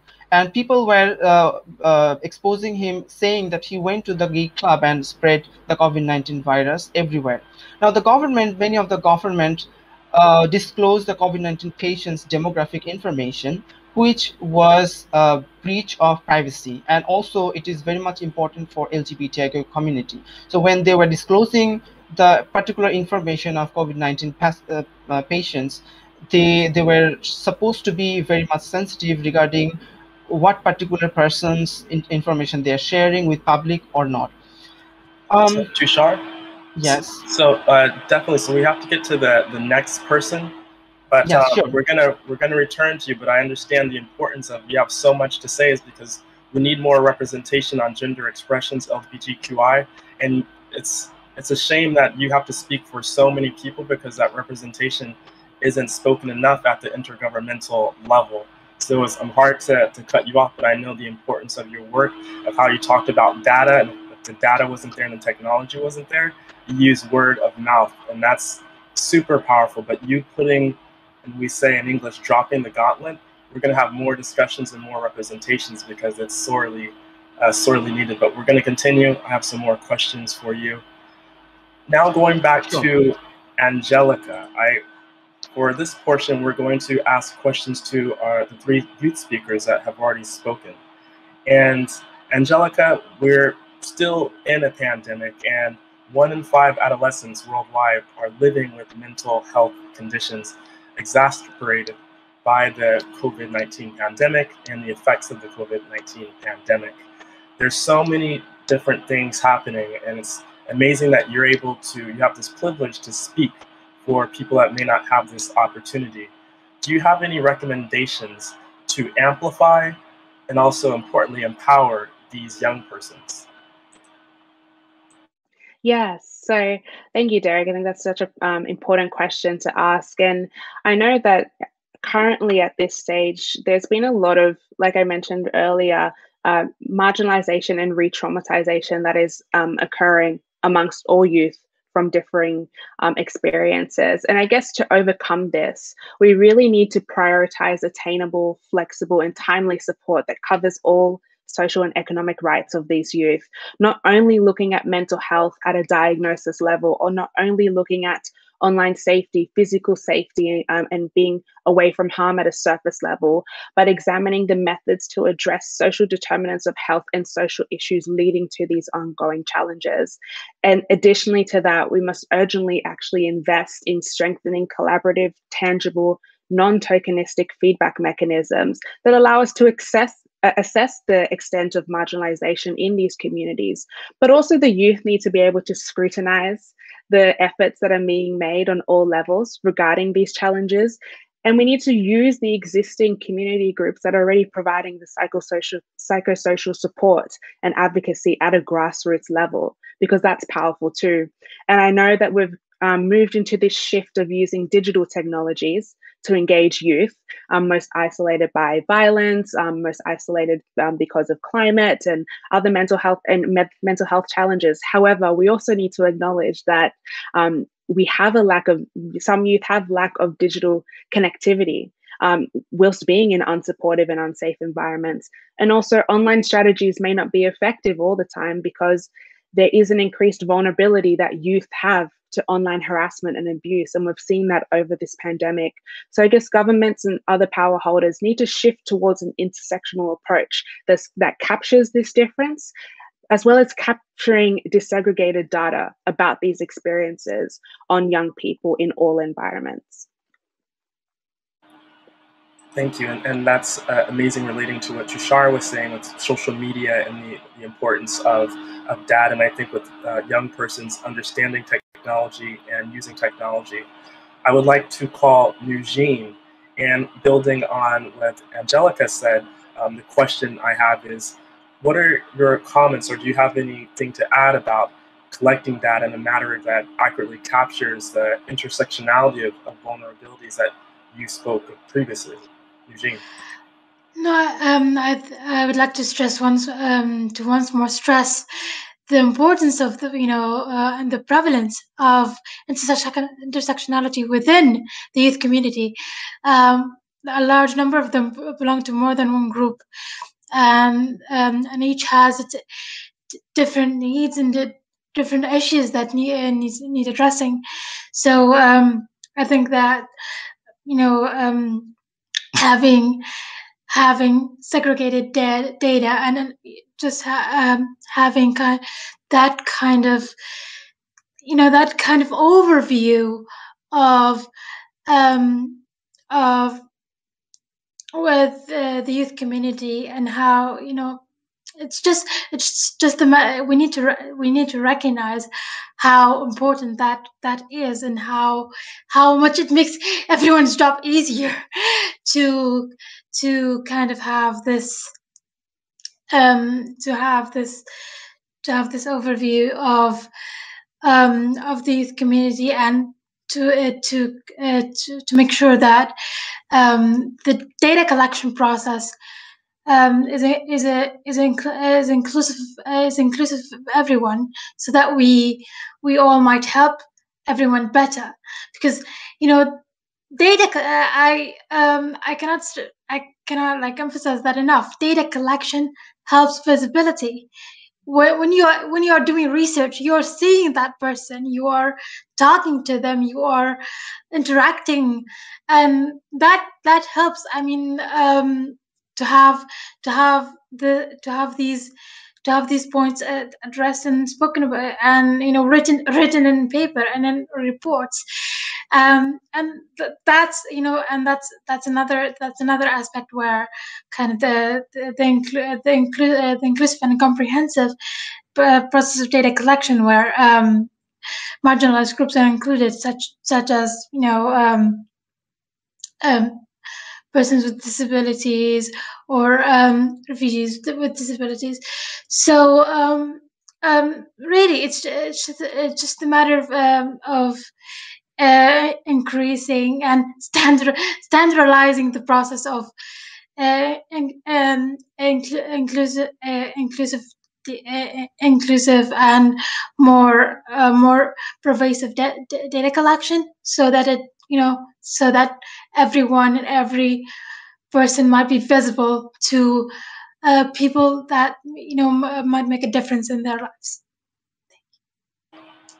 Thank you, Nujeen. And uh, again, I was I was looking at the dot to, to see you, but then also I, I see on my phone that there's comments that that uh, people facing disabilities shouldn't be silenced, but they should be embraced. Also, how you brought in the voice of minorities as as well. So I want to thank our our audiences for for that. Again, thank you for your words. Tushar, we meet again, and you you've already uh, uh, beat me to the punch about my next question is could you provide concrete examples of how your guidance would reach support marginalized communities which you are already doing but do you have any other examples that you could share with us Yes, thank you, Derek. I think Nujeen pointed out one of the recommendations that I had in my mind, but apart of that, I think the government should be active in tackling stigma that harms LGBTIQ community uh, in the pandemic. I'll also recommend for the government to legally recognize the identity of LGBTIQ community across the world, and even if there is no recognition is possible because of the contextual or cultural barrier, they could at least give them an, an ID card so that they can get help when they need it. Um, also, I will urge the government to classify uh, community-led organizations uh, effort as an essential service during this sort of pandemic so that they can uh, provide the services to everyone uh, and within a short time and also they can move without any restriction during the pandemic and also i'll urge the donors and supporters to uh, provide flexible funding for small scale organizations to who works at, at the very grassroots level they, they should omit the uh, requirement of registration or other things so that they can uh, they can make the best possible effort during this pandemic and help the marginalized community. I think that's all i had in my mind for the recommendation part. Thank you derek. Well thank you and you said that's all that you had. That was uh, a lot and i would like to thank you and just all the other youth panelists again in our meetings that this is really youth led and how all of you really came to to work and to show up and to show for your communities and to show the world. So I'm receiving a lot of comments that they're inspired by your words and the other panelists' words. So that's amazing. Thank you again, Tushar.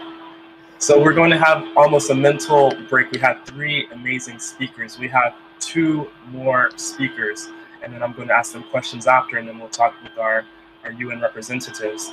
Our first or our next youth speaker is Alba Veronica Yacabalquiej. She's a young indigenous Maya K'iche' woman from Guatemala. She's particularly concerned with the accelerated effect of climate change on Indigenous communities and also how that affects poverty and other issues.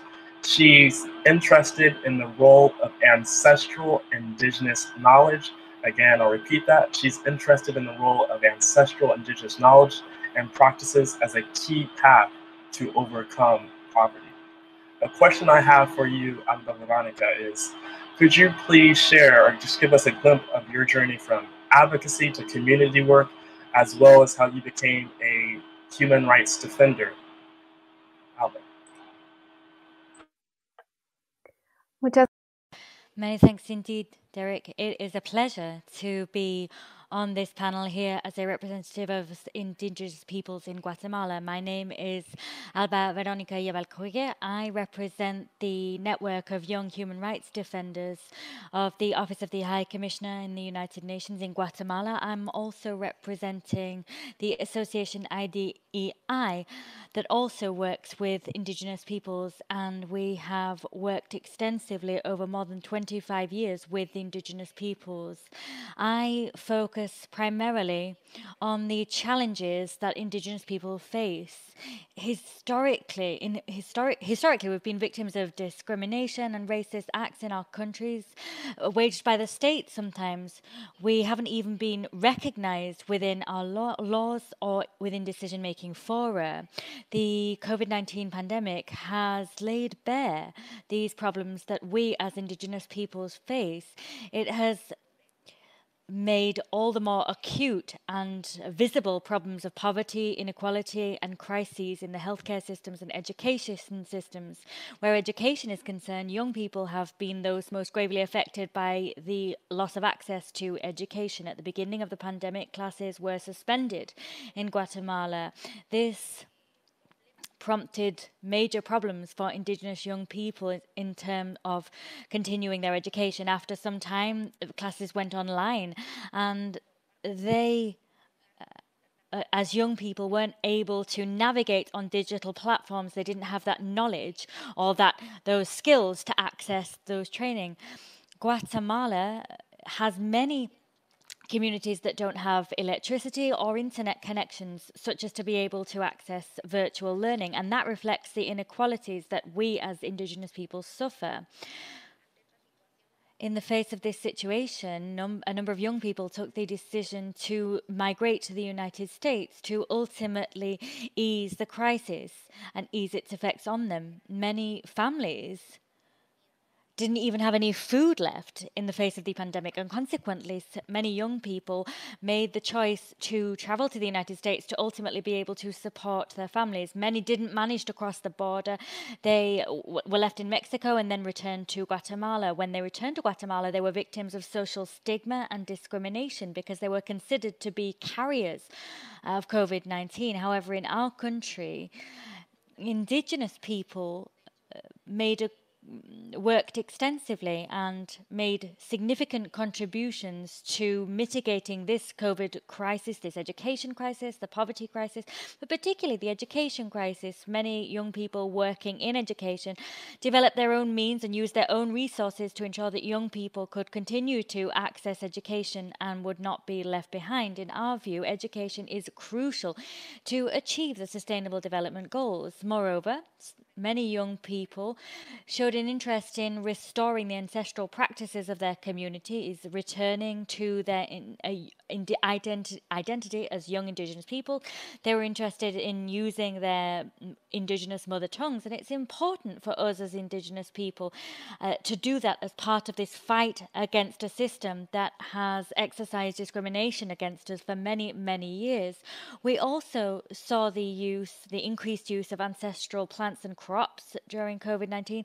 That's vital because in Indigenous communities, healthcare is not accessible for all. There are not many clinics and far fewer hospitals. Consequently, ancestral medicinal knowledge was crucial in reaching Indigenous communities, young people, and stemming the COVID 19 pandemic, which dealt them a heavy blow. Young people also worked extensively to recover the use of matern- mother tongues and also in using mother tongues to convey public health messages to Indigenous peoples. And this was important because the Minister of Health didn't issue uh, material in languages understandable to Indigenous people regarding uh, curbing the spread of COVID 19. So this work in mother tongues was vital. And what we also saw was connecting with the, the connection with the um, Office for the Commissioner of Human Rights in Guatemala. Working with them was vital to disseminating uh, uh, health information and to recording all the acts of violence and discrimination waged against Indigenous people against the backdrop of the pandemic. We had a forum working with the High Commissioner to express our ideas, our thoughts, and to ultimately raise awareness about the Sustainable Development Goals that the United Nations has established. And we were also able to work with the office to co- make our contributions to achieving the SDGs. Forums such as these are vital for us uh, as Indigenous peoples because we're able to make our voice heard. And that's particularly important because often our voice is not heard. So, this was an important step forward for us Indigenous peoples. And the fact that I'm here today talking about my ideas, the, the way I think, the way I live, and all of the experiences that I've had as an Indigenous woman in, uh, at a community level is also vital and is part of my commitment to raising awareness about the many challenges that we as Indigenous peoples face. I know we're facing many challenges. I'm listening to my colleagues and their experience didn't differ a lot uh, to a large extent to my own. They suffered similar challenges to those I suffered as an Indigenous person in Guatemala. We're seeing human rights violations, for example, and these are common across many communities, as we heard from my colleagues. We, as Indigenous peoples, contributed also to the mitigation of climate change through the use of ancestral knowledge. That's been a key contribution. I was talking about the increased use of medicinal plants. These aren't recognized by the Guatemalan health system. However, they can make a vital contribution to healthcare. A number of young people that aren't Indigenous are currently studying biochemistry in Guatemalan universities, and they themselves are interested in knowing about the medicinal properties of um, of indigenous crops and ancestral crops, and that for us is very important as part of knowledge dissemination, and is something that can be rolled out elsewhere. Now, I should also point to the fact that we have a number of struggles underway when it comes to defending indigenous land. We're deeply concerned at climate change as a as a threat to that land. We are those primarily affected by climate change because we make we earn our crust through agriculture. It's the main source of livelihood that we have, and we're witnessing uh, climate change, and consequently, food security is under threat we're on the front lines. And so, as Indigenous people, we've developed ways of communicating with Indigenous uh, communities in order to preserve ancestral knowledges, knowledge and also to protect our land from the hands of multinationals who wish to grab our lands and seize our natural resources. Faced with these challenges, in addition to these challenges, we've also seen Indigenous people, Indigenous leaders, human rights defenders being persecuted, uh, intimidated, harassed by those wishing to claim land. They've been the victims of many a threat. And so I wish to re- report on these complaints uh, and these instances of abuse against Indigenous people so that our rights can be protected, so that we're not persecuted as young people and as Indigenous people. We know that our contributions are valuable, be those to COVID 19 or elsewhere, and can enrich all the work that's underway for environmental protection. But I did want to make the abuse of Indigenous peoples known. Thank you. Thank you, Alba Veronica. And just with your, your words, you're not making my job as a moderator easy because I'm getting so many messages of how you're speaking about the personal, your indigenous community, but also indigenous peoples, it relates to indigenous peoples around the world, but also the intersectional aspects. So that's very um, important. Um, moving along, I would like to give the floor to Linda Rukame, and who's been, she's 25 years old, and also is a researcher in criminal law. And the question I ask you is, can you share with us a little bit about your, your life path and what led to your, your career in women's um, rights, gender rights, and sexual rights? Linda. Thank you for the question, Derek.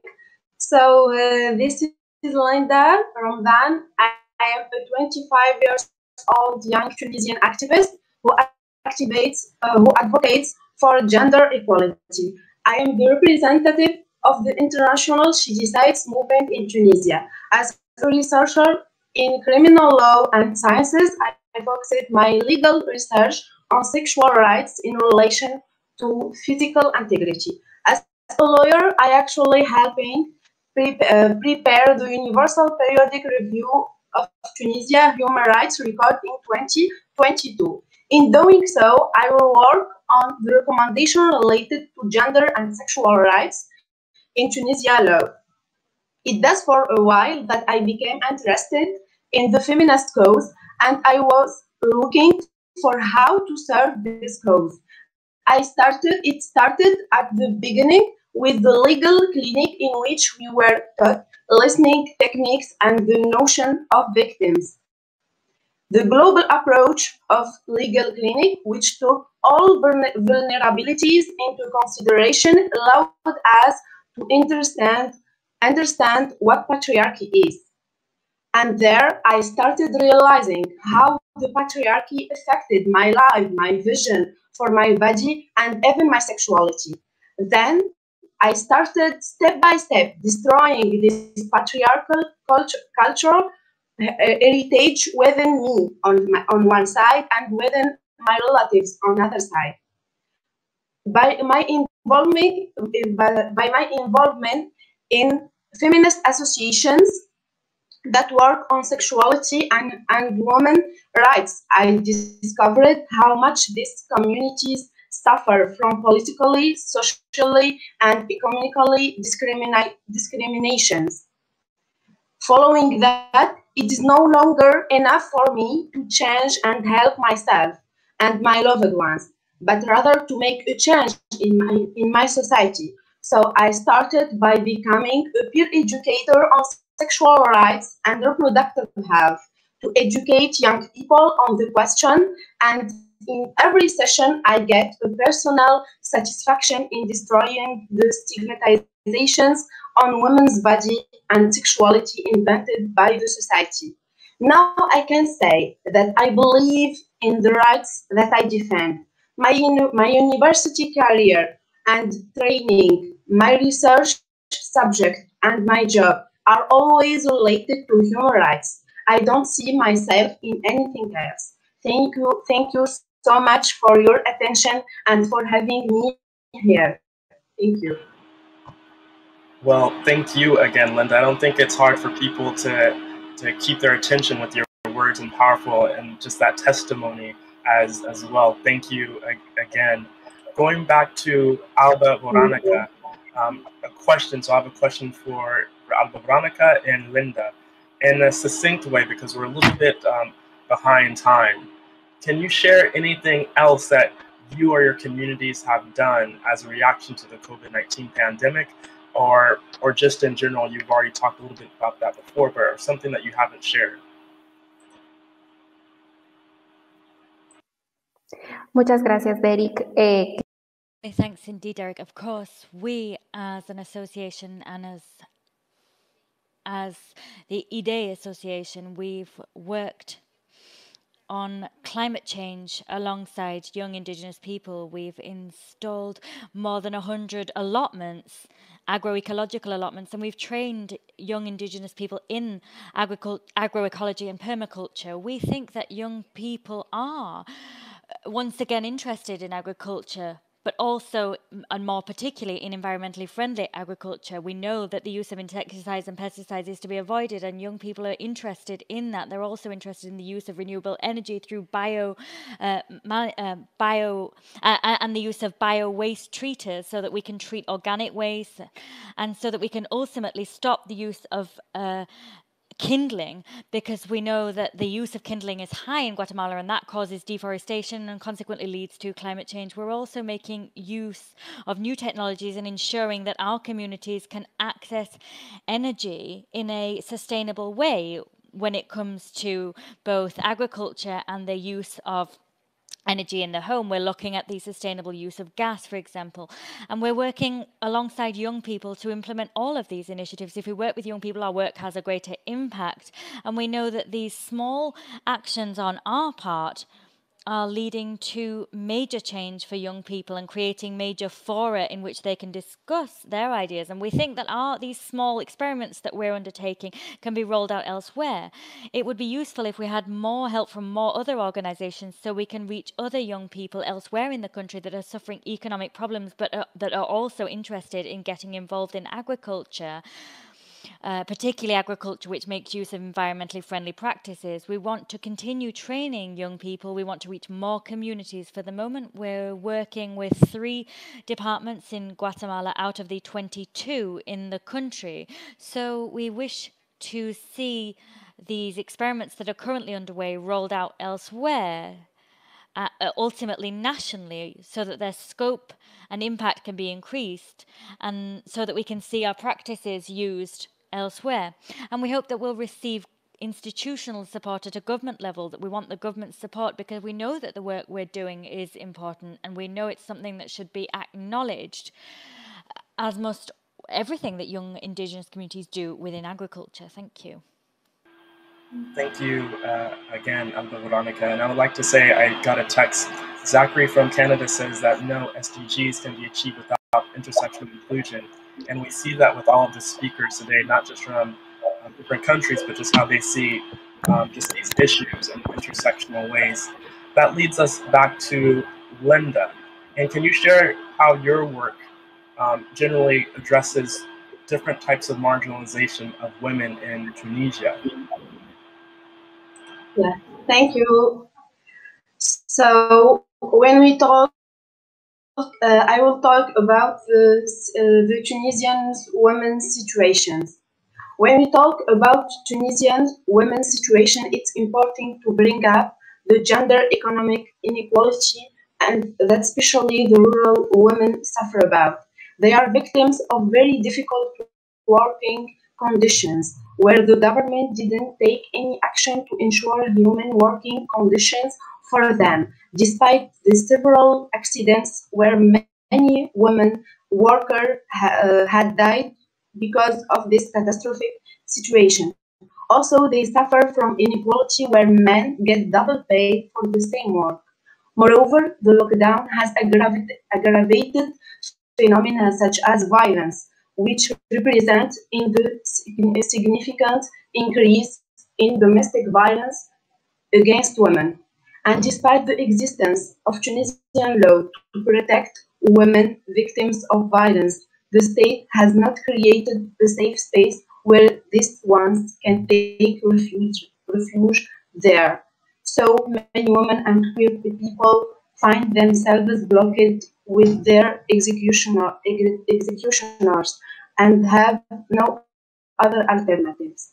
The pandemic has heightened also government ignorance of reproductive health, such as a total, a total lack of contraceptive means and the refusal of the most of reproductive services during the first period of, of COVID-19.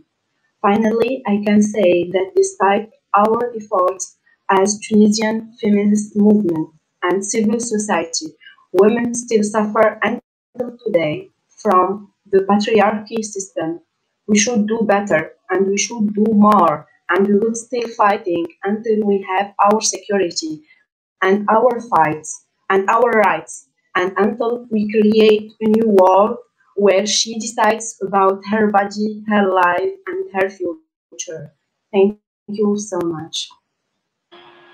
Thank you, Linda. And I like how you, you talked about institutions, you talked about patriarchy as as well. And this leads us to our next two speakers. If we're talking about institutions and institutional change and how that can affect the lives of our communities and our countries, the two UN representatives, I'll first start with Ms. Fiona McCluney, who is a UN resident coordinator in Albania. Just quickly, her bio is, is long and deep, but she's an urban designer by education and practice. Her work in the UK and Canada her deep interest in poverty and equity, I, I give the floor. And just a general question is just general points on, on inclusion of youth in Albania, and if you could relate that to some of the speakers today. The floor is yours. Thank you very much, Derek. Um, I really want to congratulate the youth speakers that have come before me and comment on the richness of the topics that they've covered. In Albania, we've attempted to incorporate the views and voice of youth in the work that we've done here. Um, and I want to give a couple of examples. First of all, we set up a youth advisory group, which includes men and women, um, girls and boys, um, people from uh, more disadvantaged Roma Egyptian communities, from the LGBTI community. And these 14 members have helped us and represented, given their inputs into our, our UN planning process, the preparation of our cooperation framework. We've also been working on a joint program with many of the UN agencies here, which has been working with 15 municipalities and has set up youth advisory groups at a municipal level. And those youth advisory groups have been um, helping municipalities on youth budgeting, including youth activism, and being involved in youth policy work at municipal level. There's also a youth peer education forum, which deals with more sensitive issues to do with sexual and reproductive rights, to do with gender um, uh, identity, and is an informal network of 700 youth that um, have an opportunity to speak and talk to and support one another and have representation through some of the UN agencies into policy forum. There's some work being done with government on a youth law and some work being done on the bylaws and also a national action plan that also follows that but it's all part of um, the framework of increasing the voice and opportunities for youth and young people from lots of different um, multi-sectional groups within the country and seeing that their voice is heard in the way in which the country further develops. Again, thank you for those words and being present, and even being present during the meetings and giving guidance as well as, as how to interact with human mechanisms and also from your own experiences. It's been amazing and very helpful to the youth as, as well. For our next speaker, we have Clement Voule, a special, he is the special rapporteur on the rights to freedom, a peaceful assembly, and the association uh, since April 2018. Again, he has a long and deep bio. He's done work as a human rights defender in his native Togo, but also across the world and especially across the continent of Africa. And just a, a general question I have for him is have you been working or how have you been working towards leaving no youth behind? Clement, the floor is yours. Yes, uh, th thank you very much, uh, Derek. And uh, let me also thank the forum for inviting me to be part of this uh, important session. Uh, it is a privilege uh, to connect with remarkable youth leaders from around the world and share my experience as a UN independent expert with the ECOSOC uh, uh, Youth Forum. And as you say, I'm the special rapporteur on freedom of association, peaceful assembly. And let me say that young people are the most crucial and important component of a vibrant civil society. They are the drivers of protest movements with incredible capacity to mobilize society using digital and non-digital tools. They are the force behind the climate justice movement, as you can see uh, uh, uh from uh, uh, today, and advancing also women's rights, advocating for racial justice, uh, you can see from Black Lives Matter, defending democracy, and you can just also witness this from uh, the ongoing uh, democratic movements and protests around the world. And one of the examples today is Myanmar, uh, but also in Algeria. And, and we can also highlight many of them. You can see that the collective force of the young uh, young people is important. It's important in order to make to, to, to lead to the change. And they are also the, the driving innovation for uh, social justice and taking advantage of technology to contribute to achieve the SDGs. And I have strongly, uh, since I took the mandate in 2018, as, as you mentioned, and continuously advocate for the promotion and the respect of the right to freedom of peaceful assembly and of association for children and youth, especially marginalized youth uh, uh group. This include, for example, as, as you asked me to say that, uh, speaking out when the rights to peaceful assembly and association have been violated. When their rights have been violated, I was already outspoken, and we can I can give you many examples from Nigeria restricted protests, and from Myanmar, and from Belarus. And uh, I'm, I'm also very uh, uh, uh, present in advocating for mentoring of youth leaders and their inclusion in the implementation of Agenda 2013, because I believe that uh, if we left uh, youth behind, so the agenda will not be accomplished because youth are the future of, of this world. And I'm also really, uh, uh, uh, uh really uh, strongly urging government to ensure that the youth demands and voices are included in the building back after COVID-19. And as, a, as part of the 10 key principles that I drafted and, and share in, two, in July 2020 with government to ensure that those 10 principles, when they are followed by the government, uh, they can they can help to keep civic space while the government is trying to address the the, the COVID-19 issue or or the the, the um, health issue that we face. But I think that keeping this space for young people is important, ensuring that young people, even we, during this health crisis time, they are able to to be able to express their view, they are able to, to contribute, they are consulted on measure that is put in place, is also important. But also, just also to end, uh, giving you another example, my mandate also is quite heavily when I do the country visit. As part of my mandate, I consulted with young people. I ensure that the report that I was drafted to suggest to the human to, to present to the Human Rights Council or General Assembly, I also contain also issue around young people, their demands, and how they see the future, in particular in their country. So I will just give these few examples and, and hope that uh, we, we can continue uh, uh, uh to clarify certain issue uh, in the debate. Thank you very much, Derek. Let me stop there. Uh, thank you. Within your three minutes, you gave so much information and made so much, so many connections. both of you, as UN representatives, as this isn't just a conversation between youth discussants, but thank you for, for giving your time today. For our this next session, we'll have a group discussion. This will be like a lightning round for our different discussants and new participants, just quick answers, and I'll just give them simple questions. And really, this is about recommendations, as in many of our discussants are not hard to reach. So I have Angelica again, and we've talked about data and a little bit about uh, disaggregated data. And how about a question I have is related to gender and sex. So the question I have for you is, could you please share recommendations you have on this critical tool of disaggregated data?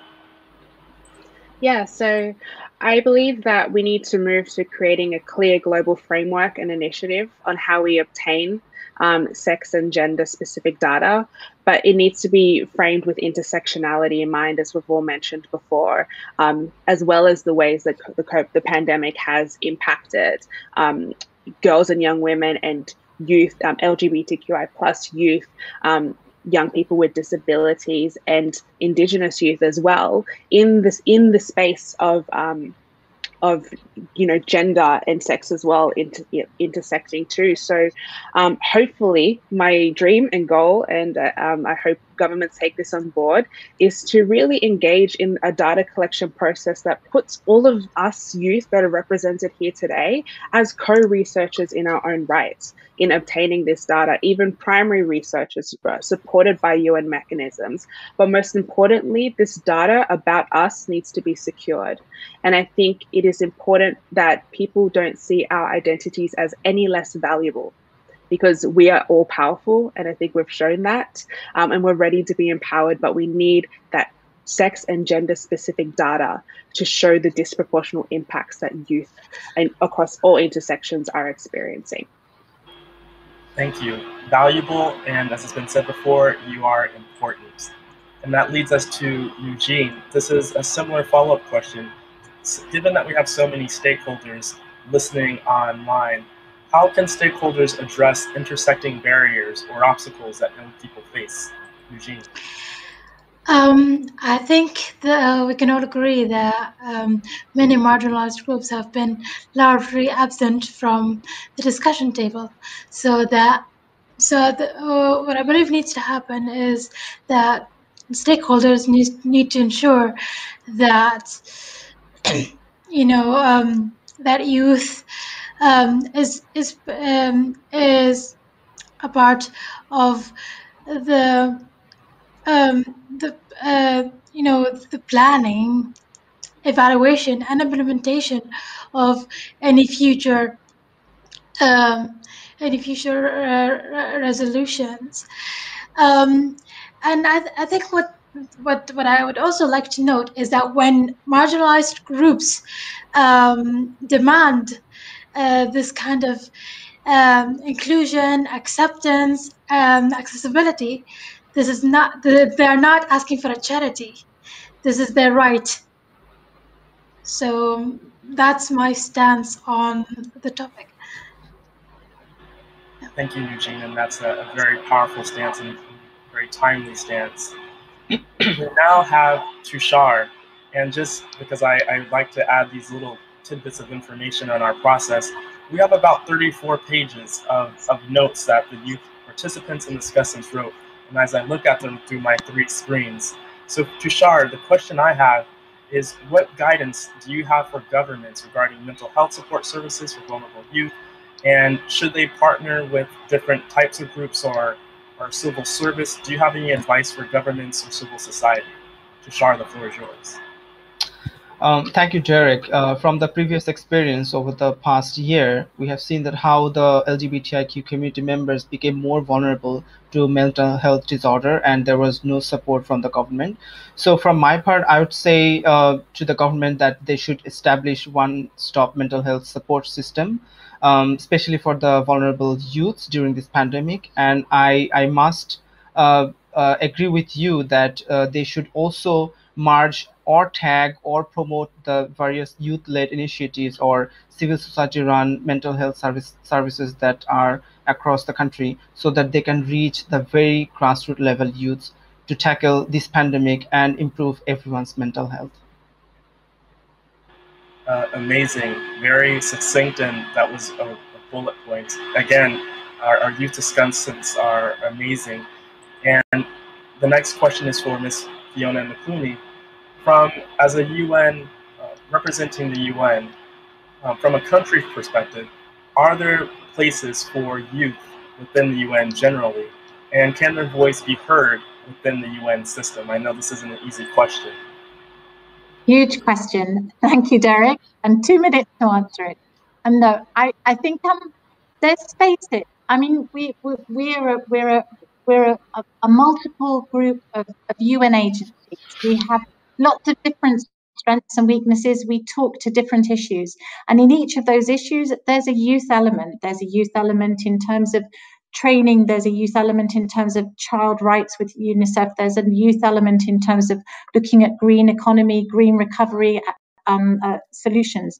And I think it's it's incumbent on us to make the space for their for that voice to be heard.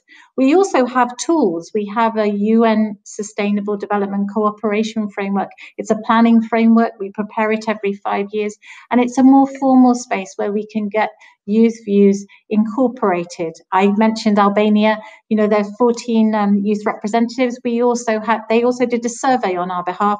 And then they came to talk to the UN country team heads of agencies and represent their views. So there's always a space. It takes time and it takes some energy and it takes um, a commitment. But I think there's there there is lots of scope, and I think it's incumbent on us to do it. And also not treat youth as a homogenous group. Recognize the intersectionalities and find spaces where people can comfortably bring forward their views and ideas. Thank you for this session. And I want to thank you. I would also say during our meetings, during the practice, how you gave space and you held space for youth discussants as well. So you really embodied that practice as well as you listened and you took amazing notes and you brought that to our plenary today. So again, I want to thank you for, for that. Our, our next speaker, I have a question, is for Alba Veronica. And this is another general question. How can we center the experiences of Indigenous youth in terms of how can they be part or a part of decision processes? Alba Veronica. Muchas gracias. Many thanks indeed, Derek. In my view, it's important that young Indigenous people continue working together so that we can ensure that we are included in all decision making fora. I also wish to take this opportunity to emphasize to our authorities that we need to be taken into account, that we need to participate in a genuine fashion in all decision making spaces. We're working within our local organizations, but it is also important that we form part of uh, the spaces within the Congress, for example, within the executive branch, within the judicial branch, so that we can participate in a genuine, tangible fashion. It's important that our fights cross community borders, and so so that it's ultimately um, more possible to achieve the SDGs. Our ancestral knowledge, our indigenous knowledge, needs to be taken into account and recognised, because otherwise, it will be illogical to continue fighting if we're not really taken on board by our national authorities. Thank you. Thank you. Uh, amazing words and, and very succinct. Uh, then our next speaker, Linda. We were doing research, and I've learned that you're preparing work on the Universal Periodic Review of Human Rights in Tunisia for 2022. My question is, can you give advice to other young people about other young people from vulnerable groups or young people in general, how they can be meaningfully engaged with the universal public reviews of human rights. Linda.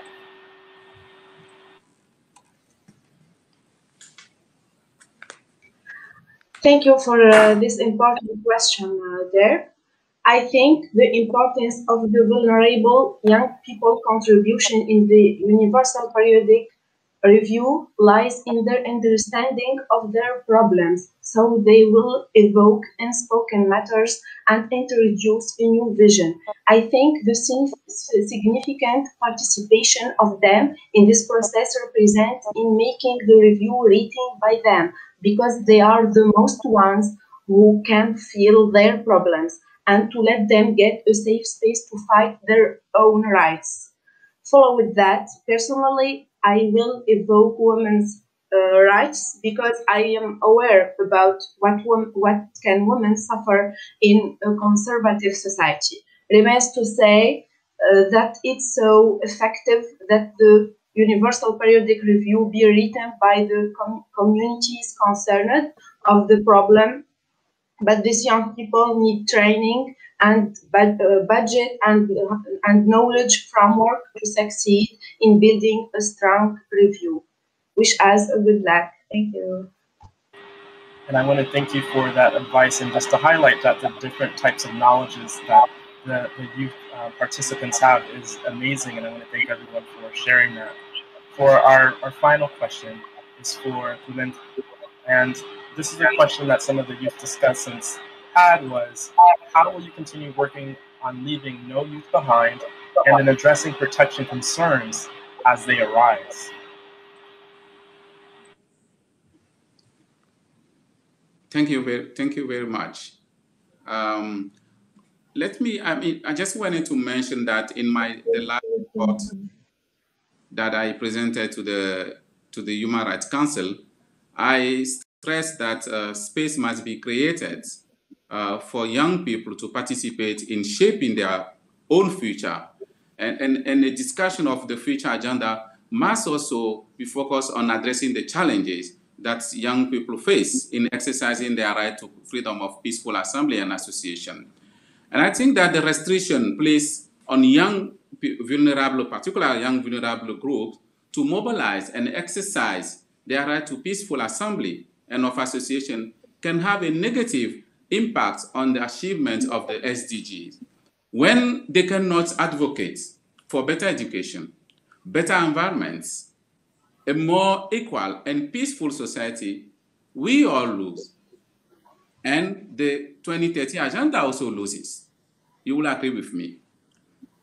I'm, especially, I'm, I'm especially concerned uh, about the, uh, the digital divide that continue to exclude young people, in particular those working in rural area uh, and also with disabilities, and other from participate from public participation.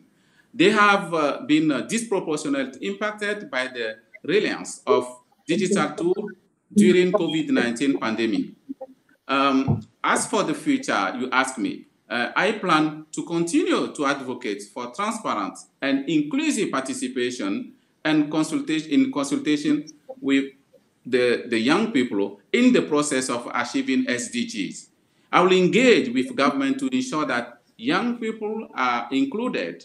Uh, it is also important for me also to continue to consult uh, young group people and women, indigenous, uh, displaced, youth uh, population, and disabilities, also the uh, uh, youth population also in developing my report because the, my reports also deal with how people can organize themselves. And if those groups are able to organize themselves and to tackle their own future, we can also uh, achieve uh, the, the, the, the, 2030 agenda because the 2030 agenda, as you, you, you will see, is focused on people participation, it's focused on be ensuring that people are taken in account. And I, I will also continue to cooperate with, um, you know, you also ask in, in terms of the protection protection issue. We know that within the UN, we have also several mechanisms, uh, including also the, the, the, the the uh, uh, Assistant Secretary General mandate, which is to receive any kind of uh, cases of reprisal that people face, and also to convene this message to the to the to the Human Rights Council, and also call state to remedy on this situation. And also young people can also use my mandate to convene such message. And when we receive information like this forum where you are engaging, if you are, you are, for example, threatened, or if you are repressed because you participate to the, this uh, uh, UN forum, you can also call us because the participation of the young people in the debate at the international level, local level is important, and we should be able also to create this conducive space for young people. And my mandate is still open to continue to promote the voice of the young people and also to ensure also that uh, um, the future of our planet the future of, of uh, uh, uh this, uh, this world, which is young people, can be secured through the participation of the young people. Again, thank you. And, and that was really an invitation to our, our youth participants and also youth around the world. And that was a beautiful invitation to be involved with UN mechanisms with this important work. Again, thank you for your time. I would like to give the floor to ASG Harris, for his closing remarks and to wrap everything up from the things that he heard today. Thank you. Thank you very much, Derek. Uh, and first, let me thank the speakers. It's been an amazing session. I'm sure I'm not the only one who felt the energy and the dedication that our speakers have, have put into evidence today. I am taking away a lot from this session. I can already see how we in the UN can take on board several of the recommendations that the young people have made today. For example, it was clear that we need to strengthen multilateral processes and the intergenerational dialogue in order to effectively advocate with and for youth in vulnerable situations. As a concrete way to make this happen, I've heard that we need to significantly improve our collaboration with youth of intersecting identities so that they can provide feedback on the current mechanisms that impact them. Again, it's a question, in many respects, of them realizing their rights. We're not doing them favors. I also heard a strong call to close the data gap, to have a more detailed understanding of the challenges that are linked to intersecting vulnerabilities. Nujeen said it in a very compelling way. Data collection helps visibility. Having disaggregated data, as Angelica pointed out, would help us to design impactful interventions and develop effective policy guidance. I've heard speakers call for an initiative to obtain data relating to the social issues that are exacerbated by the COVID 19 pandemic for all youth. The issue of youth mental health also came up in some detail, including in the context of supporting youth who are mobilizing at the local and national levels and calling for the co design of mental health strategies and interventions that would truly respond to the needs of all youth. For your information, we in UNDESA, we're currently working on the next edition of the World Youth Report, which is focusing on youth mental health and well-being. This upcoming report, which focuses specifically on the social determinants of mental health that Angelica referred to, is being prepared in very close collaboration and consultation with young people. It will improve our collective understanding of the specificities of youth mental health and well-being, and it is based on multiple testimonials of the experience of young people living with these different vulnerabilities, both pre and post COVID. We've also heard a lot about the need to leverage all knowledge and strategies, including those created by indigenous, indigenous peoples, in the fight against climate change and against poverty and for overall development. That came through clearly in this session. Alba's testimony made it painfully clear that indigenous communities are being particularly affected by climate change, by the pandemic, and yet we do not sufficiently recognize that effective leadership role that they can play in helping to address a number of these complex issues that we face today. We all need to do a much better job at consulting and including Indigenous youth. Today's session demonstrates that there's no single approach to our work on leaving no one behind, leaving no youth behind. It's imperative for us to attentively listen to young people in vulnerable and marginal situations so that we can better understand and respond to their needs and make that a, an integral part of our policies. In parallel to this, we need to collectively invest in addressing the root causes that contribute to youth vulnerabilities. To do so, we need to be honest, responsive, and accountable. And we also need to be bold and resilient. Bold, like the inspiring young people we've listened to today. I thank you very much for sharing your wisdom, your ideas, your experiences, as well as a very clear message that the status quo simply will not work anymore. We've heard you loud and clear, and the ball is now in our court. To close, I'd like to thank the many partners who've worked closely together to make this event today possible. In alphabetical order, these partners include the Major Group on Children and Youth, the MGCY, the International Coordination Meeting on, of Youth Organizations, ICMYO, the Office of the High Commissioner for Human Rights, the Office of the Secretary General's Envoy on Youth, the United Nations Alliance of Civilizations, the UN Development Programme, the United Nations Department of Economic and Social Affairs, the Division for Inclusive Social Development, the United Nations High Commissioner for Refugees, and UN Women. I also need to thank our outstanding moderator, Derek Leon Washington, who has so skillfully helped us to navigate this very full and very complex session. Very, very well done, Derek. And I hand it back to you with my thanks. And I, I want to thank you for, again, for being present during this whole plenary and also calling participants by name as well. And that shows that you were listening and that the UN and member states are listening as well. Again, thank you, everyone, moving forward step by step in dialogue, in a conversational style, in conversation. I would like to give the floor to the next panel, the next um, important work, reflecting back and looking forward, celebrating a decade of youth forum and the start of the decade of action. Again, thank you, everyone. Adelante.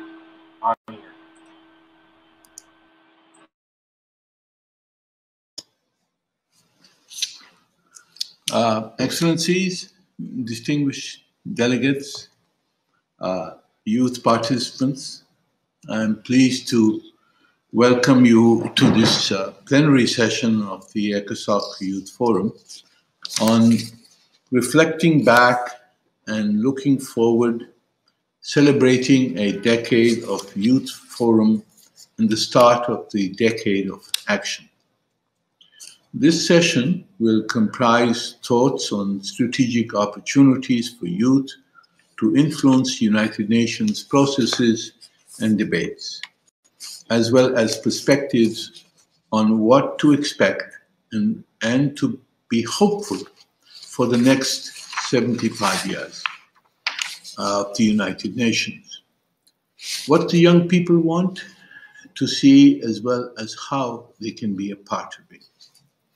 I would like to welcome the Deputy Secretary General of the United Nations, Her Excellency Amina Mohammed, and the United Nations Secretary General's Envoy on Youth, Ms. Jayathma Wickramanayake, as well as youth representatives, Ms. Dilan Ezgi Koç, United Nations Youth Champion for Disarmament, Mr. Abdullah Al Gafaji, Liaison Officer for Medical Education Issues at the International Federation of Medical Students Associations, and Ms. Mariana Vasconcelos, co-founder and chief executive officer of AgroSmart. I now invite the United Nations Secretary General's Envoy on Youth, Ms. Jayathma Wickramanayake, to begin this conversation. You have the floor, Ms. Jayathma. Thank you very much for that introduction, Mr. President, and welcome everyone to the final plenary segment of the 10th ECOSOC Youth Forum. Can you believe it? We've spent two days together and we are almost at the end. We've spent the last two days exploring different facets of achieving the SDGs, and it only seems fitting that for the final segment, we are joining youth together in conversation with um, someone who I think lives and breathes SDGs, the UN's Deputy Secretary General, Amina Mohammed. Now, before we jump into this session, I would like to draw your attention to the chat where we have just shared a link to a poll. We would love for everyone in the audience to be a part of this conversation. So please click the link and share your thoughts with us. So click the link, go to the poll and share your thoughts with us because we will be bringing in your ideas into this conversation at a later point. So for today, we are trying something a little different. It's not going to be statements one after one. It's going to be something called a fishbowl exercise. For this, we will eavesdrop on a conversation between three young people, three young activists, and then these three young people will be joined by the Deputy Secretary General to reflect and elaborate on their methodologies for the achievement of the SDGs. Now, let's first watch the video.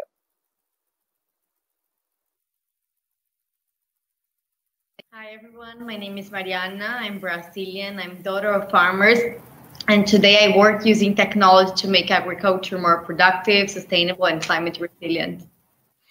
Hi everyone, my name is Dilan and I'm from Turkey. I'm currently located in New Haven, pursuing a master's in global affairs at Yale University. I'm a musician and have been playing the cello for 10 years, and my aim is to promote the role of arts and the art society to contribute to the achievement of SDGs. Hello everyone, my name is Abdullah. I come from Iraq. I'm a final year medical student, and I'm also the liaison officer for medical education issues at IFMSA, and I work in medical education and healthcare. I work on integrating the SDGs in education in order to promote a more sustainable world. Well, it's so nice that we come from such different backgrounds and countries and areas of study that I'm really curious to understand better the approach you guys are taking to achieve the SDGs. So Dilan, tell us a little bit more on like how including art and how art can support the SDGs. Mm-hmm. Um, that's a great question. Thank you, Mariana. Um, I believe that although facts, science, and policy are crucial to contribute to SDGs, like we need scientists and policymakers to combat climate change and its impacts and to promote and to promote peace and security for sustainable development. But I think that facts and policy alone often fail to make the necessary change and urgent action happen. Like we need a catalyst connecting hard facts and solutions with human awareness and action. We need inclusion and devotion to achieve the SDGs by 2030. And I know for a fact that arts can do that. With the power of music, I was able to tell a story and build an emotional connection with others to make even incremental changes in my community. I performed in fundraising concerts to help the refugee resettlement, to advocate for human rights and gender equality in Turkey. And I think that if I can raise awareness and improve even one person's life, there's so much more we can do together as the whole art society to show the way to build a safer and more peaceful world for all through the achievement of the SDGs. So I'm also interested in what Abdullah thinks. So let's look at uh, from a health perspective. We know that climate change is causing up to 250,000 deaths by the year 2030. On the other hand, only 15% of the world's medical schools have formal education about climate change. So let's do this. Let's advocate for integration of climate change in medical curricula. Let's advocate for integration of SDGs in primary, secondary, and even tertiary curricula. We integrate it with our education. We have a more competent health workforce that is fully aware, fully informed, and able to make the change. Wow, that's really nice, Abdullah, because like as climate change is affecting health and it's your perspective to it. In my case, climate change is affecting a lot agriculture and our ability to feed the world, right? So in our case, like we are helping farmers to understand better the crops with sensors and, and data, even when there is no internet in the field. So we use that to support the decision making, and therefore we can save water. Like with a better irrigation management, management. we were able to save more than 41 billion uh, liters of water in the past years. We are able to reduce greenhouse greenhouse gas emissions uh, by helping them to better, like planning on their operations, using less inputs, and so on, and connecting them with the whole supply chain. So uh, we use the same data to support zero hunger and be able to adapt to climate change. So we will continue to produce. Thank you so much, guys. I really appreciate your contributions. Um, Abdullah, you mentioned the importance of youth mobilization to contribute to SDGs. I wanted to ask you, both of you, do you think that young people are being effectively engaged in the 2030 agenda? And what do you think is the greatest challenge to effectively engage with the youth? That's a great question, Dilan. Um, after five years of implementation of the Sustainable Development Goals, and even before, since we had the Millennial Development Goals, youth have been increasingly engaged in, in, in, in global governance, in UN structures. Uh, we see that the number of youth delegates to UN meetings are increasing every year, and they are uh, participating, they're engaging, and the COVID nineteen pandemic, with with more reliance on the on technology and the virtual world, have proved us that it's not necessary anymore for you to be, let's say, an adult or an old person, so that you can make change. So I think a lot have been made. Uh, there are some good success stories. There have been some achievements, but for the upcoming 10 years, there is still a lot of improvement to be made. There is still a room for improvement. And I'm also curious to know what is Mariana's perspective on this question. Well, for me, like I think I got to know the SDGs very late in life, already like in my work life, and it would be great to got to know before. Eh, I would like to have seen that in schools earlier in life, so we can actually frame our mindset to create things to impact. In my case, was like moved by entrepreneurship, like by need and wanting to innovate, and then discovering that our innovation could cause impact. And I think if we introduce that to youth early in the days, like and, and together, the same way as we are thinking that everyone should code when they're seven. It's like everyone should know about SDGs when they're seven. So whatever they build, they build already thinking on how they will impact the world. What about you, Dilan? Yeah, I completely agree with both of you. And building on what you said, I think that a minority of young people are being effectively engaged in the 2030 agenda, but obviously it's not sufficient. And I believe that like SDG engagement is relatively strong at the national and institutional level, but relatively weak at the individual and community level, because I think especially young people perceive these issues so complex and high level that like only the government, international organizations, and professionals should work on these issues. There's a tendency among young people to think that it does not really concern me, and even if it did, what power do I have to make a change? So I think this is a big barrier to youth engagement. And another one is that SDGs are away from the public discourse, especially in the developing and underdeveloped countries.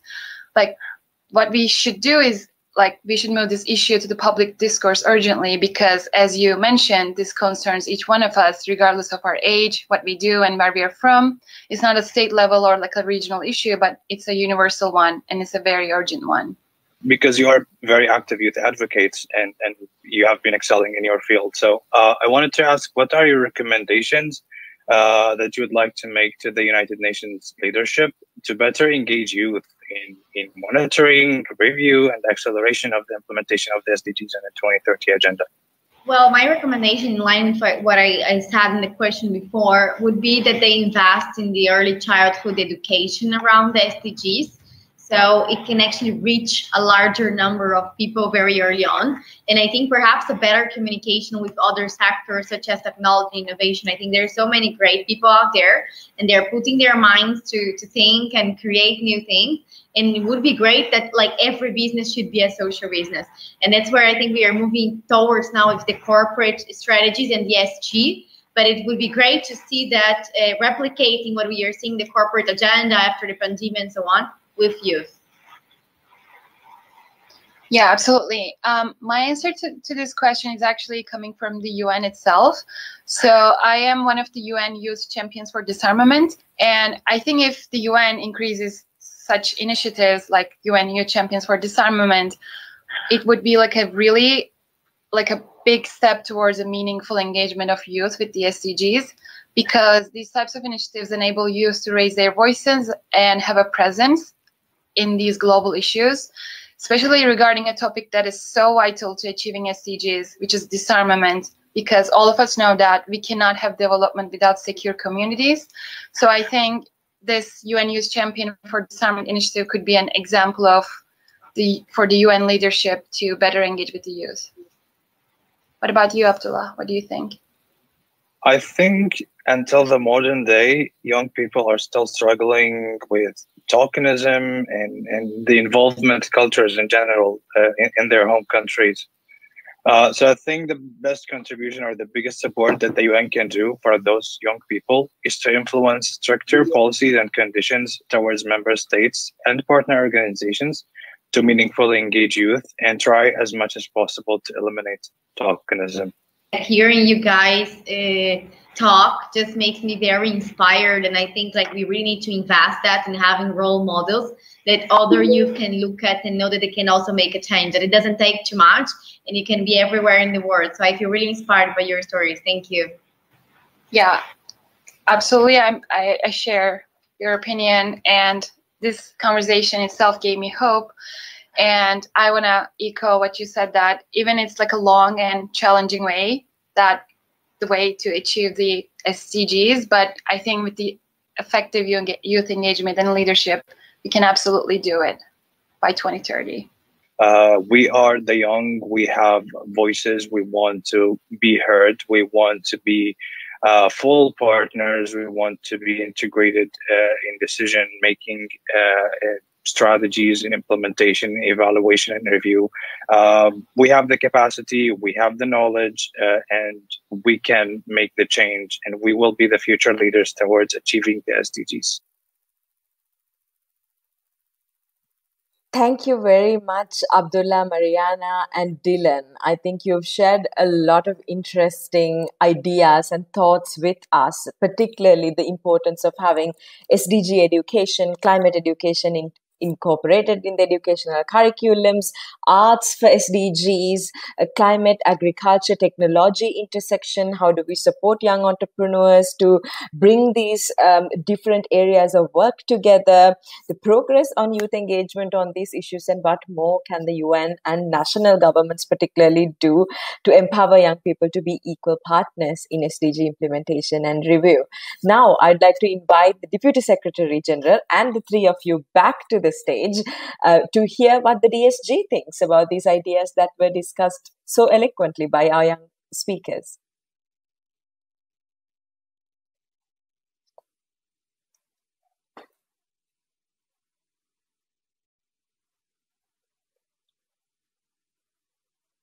Okay, let's see. Can you see and hear me? No? No, they, they haven't brought you in yet. Okay. So you're like, you know, Holding room. Yeah, yeah. bring you in. Okay, you are now. Oh, there I am. Yeah. okay, Jasmine, can you hear and see me?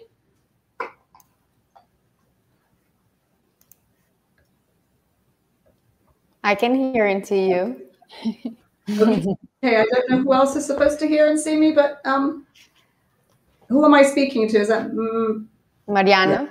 Mariana, and then there is Dilan, there is Abdullah, right? Yes. Great. Okay. At least I've got that right.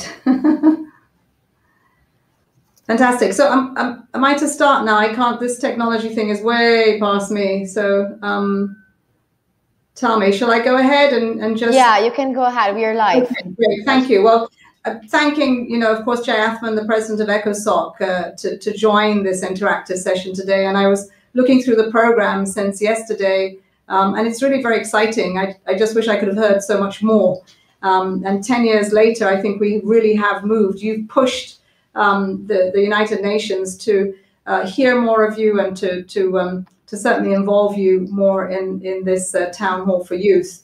So, initial reactions, I think, from all three speakers, um, we've heard examples of youth action, of innovation to support the sustainable development goals. And I think on every issue that has crossed your desk, um, every challenge that the world uh, faces today, uh, you're clearly showing that you're leading the way. And, and I, I was listening to the end of uh, Abdullah's remarks about what you can do and should be allowed to do as, as leaders um, in the future. I, I, think you're leading now.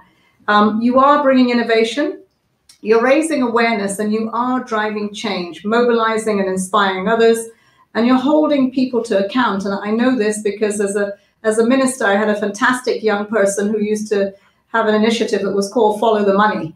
Um, and, and I knew I was doing the right thing with money, but I needed his voice to see if others were doing the right thing with money. So, really, um, innovation, uh, creative about holding us to account.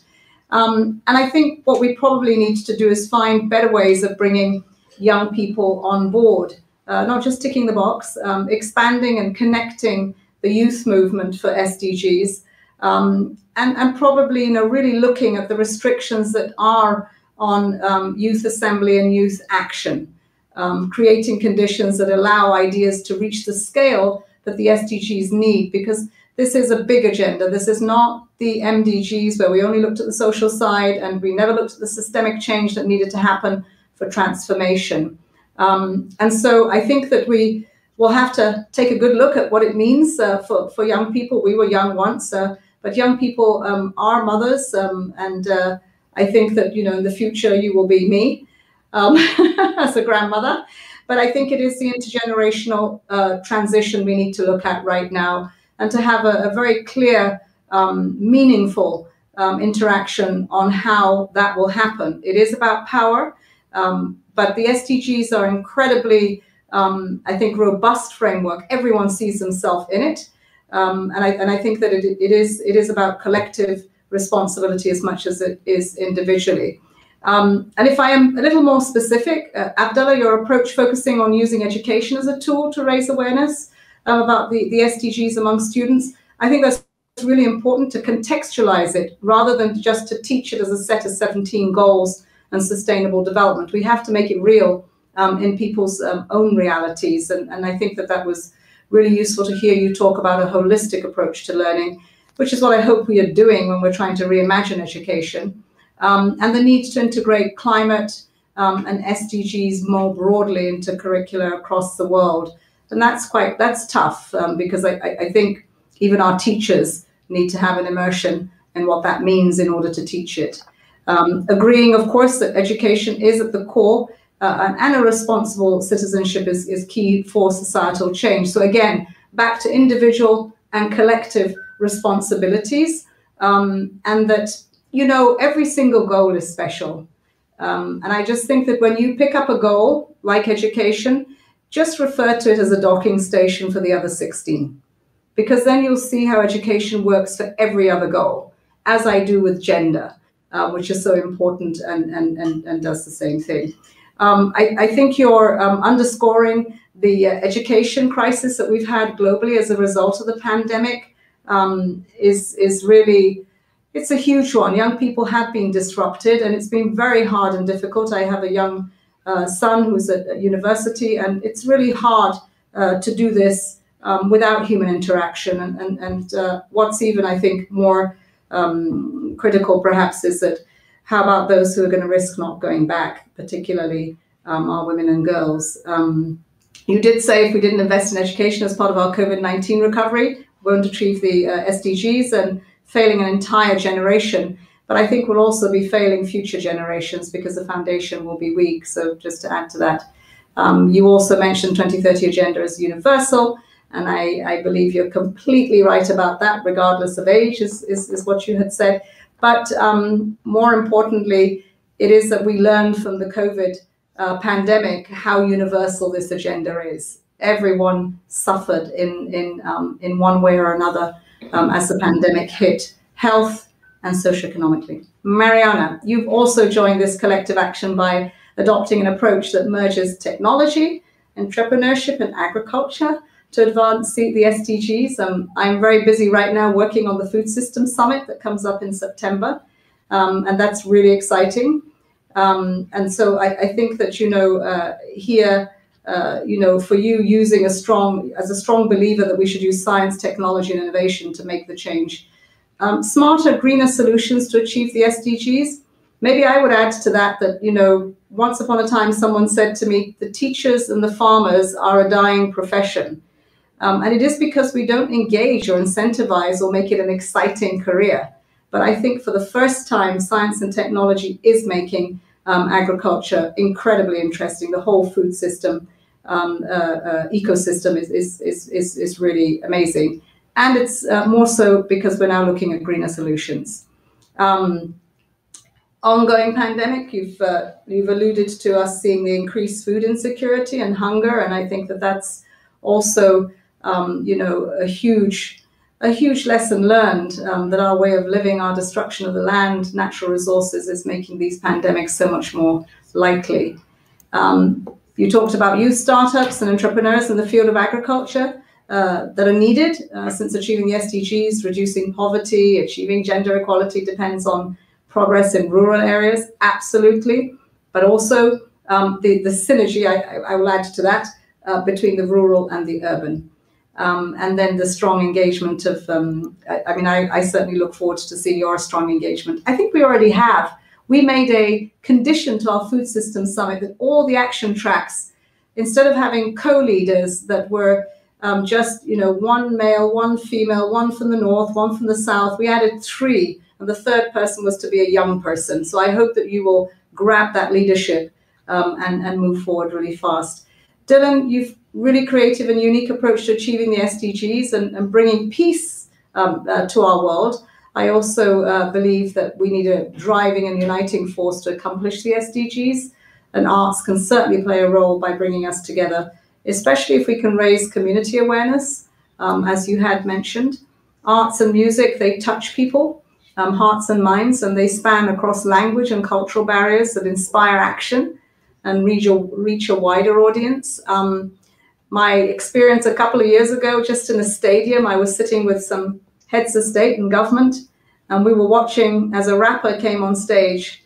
There were 40,000 people in the audience. And when that rapper spoke to them, everybody got up and made a lot of noise.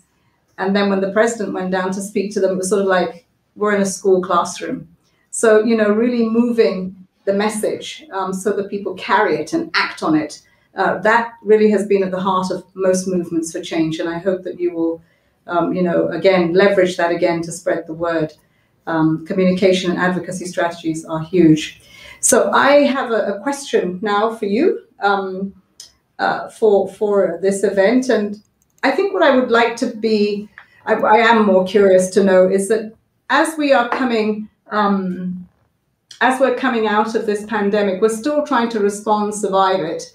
Uh, but as we come out of it and knowing fully well whatever response we have now will determine the quality of the recovery, um, what approaches are you looking at? What opportunities are you looking to profit from the tragedy of COVID in looking at perhaps leapfrogging um, for the SDGs? Do you see any opportunities from the pandemic and its crisis um, to move the SDGs forward? So maybe I start with uh, Mariana. Yes, uh, I don't know. Like I think perhaps we could start with Abdullah. So like I cannot because usually his work has a lot of connection with mine. So perhaps if he starts, I can jump and connect to his points. Yes, absolutely. Thank you so much. Um, that is actually a very good question. And from a from a focus on education, it's it's not a secret that COVID nineteen has aggressively affected education worldwide and, and the existing disparities that we have in quality, equity, and access to education have been widened. However, the time of COVID has also been the time for students and educators to reflect, assess, and reevaluate the outcomes of their education, the gaps in their curricula, and the relevance of their educational objectives.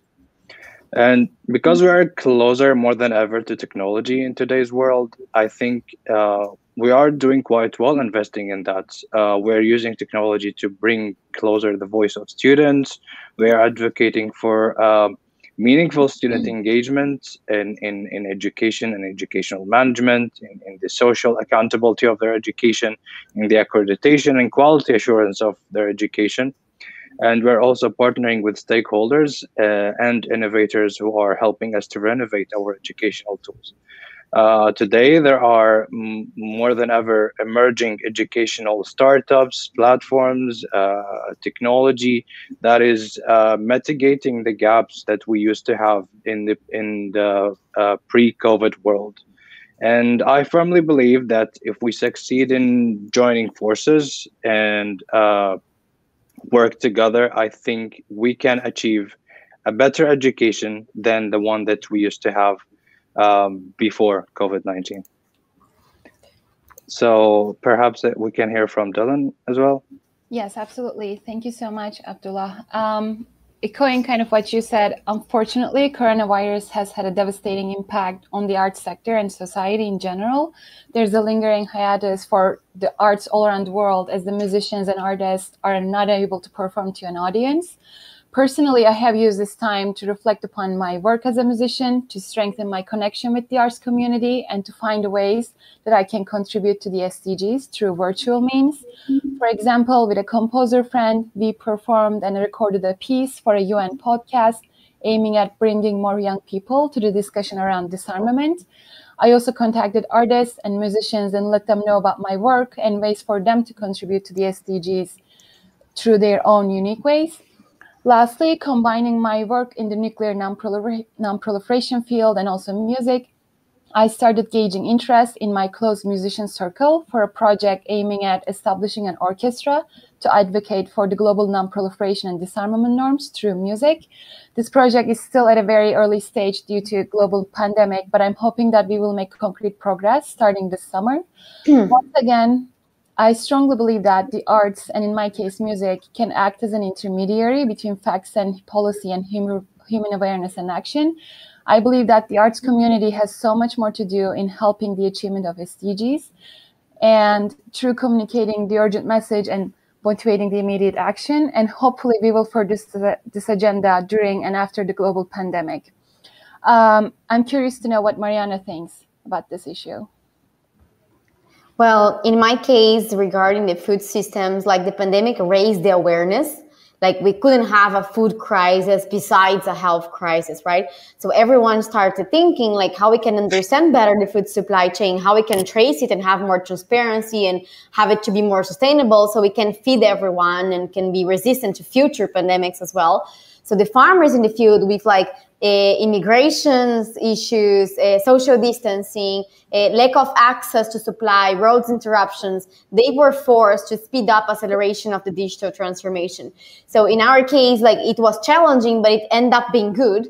That like what we needed to do already, so we could feed the world in 2050 so we can face climate change and so on that is adopting data and having a better view of the food system so we can use that data to produce more at the same time we're more sustainable. Like with the pandemic was accelerated. So like we saw many ag techs grow. Besides the economic downside there is still investments going on because the industry has shown itself to be uh, resilient. So i actually i mean i would love to get engaged in the food systems like uh, event in any way and I would like to take the chance to ask you, like in, in your perspective, in this challenge time where we are faced the pandemic, what the UN could do to ensure that the young people are have the opportunity to get engaged in approaching the, in achieving the SDGs. Uh, great. Well, first, thank you, all of you. Um, uh, clear messages from you, reimagining education, uh, music and arts being the language of peace, and, and uh, of course, the food crisis and digital transformation. So that's a bit of leapfrogging with connectivity. Um, and absolutely, Mariana, I will make sure you are well and truly involved in the Food Systems Summit. First meeting Italy and the second one in New York. Um, well, for us, I think it's clear that we can't achieve the SDGs without young people. Um, and it's not doing it for you, it's doing it with you. And so for the UN, looking at the first stock taking report on the implementation of the youth strategy, I think I see three concrete areas where we need to improve our engagement uh, with young people um, uh, to achieve the SDGs. And you know, making it clear that for me, the, the, the biggest um, opportunity is at the country level, where we have the largest footprint across uh, over 130 countries. So first, I would say improving how we work with young people. Um, and while we talk a lot about youth-led solutions, it's clear we're not as good as actually supporting them um, and supporting uh, youth-led civil society organizations. And it's an area where I think we could do much more to um, improve that. The recent um, meeting in Mexico uh, with young people and women uh, was was a was a good example of how we're getting better at it. But we still have a way to go, um, and so that would be the first. The second, actually listening uh, to young people. I think everyone's always in a hurry, and we don't take the time to listen. So I think that's that's going to be really important. Important. Uh, we have lots of engagement opportunities like this one, um, but we need to talk less, uh, perhaps respond uh, to, to what we're hearing um, as we listen to what you're saying. Um, and, and I think that we, we, we need to make sure that uh, we're living up to your expectations, not just ours. I think that's really important and especially at country country level. The third, engaging with the with the many faces of young people, not generic. Um, so young people are brothers and sisters. Uh, they're also fathers and mothers, um, and we have young people from different races, sexualities, uh, different political outlooks. Um, uh, there are people with smartphones and people mining the minerals for smartphones. Uh, so, you know, driving the SDGs, we need to embrace all young people and, and to really encourage that peer interaction, not just with what you are able uh, to go to online because you choose to be in that chat room or with those podcasts, but across, outside of that, to those that are part of your constituency but not may not be uh, where you are.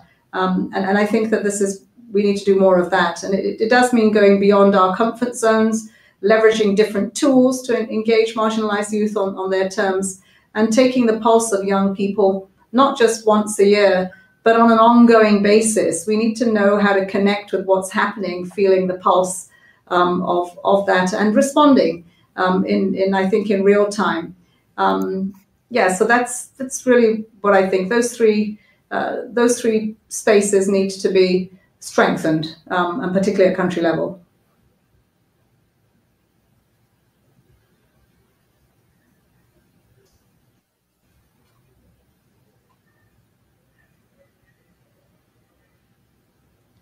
there might i think i mean are we how far are we in this conversation because i didn't want to leave without um, oops i think everyone has gone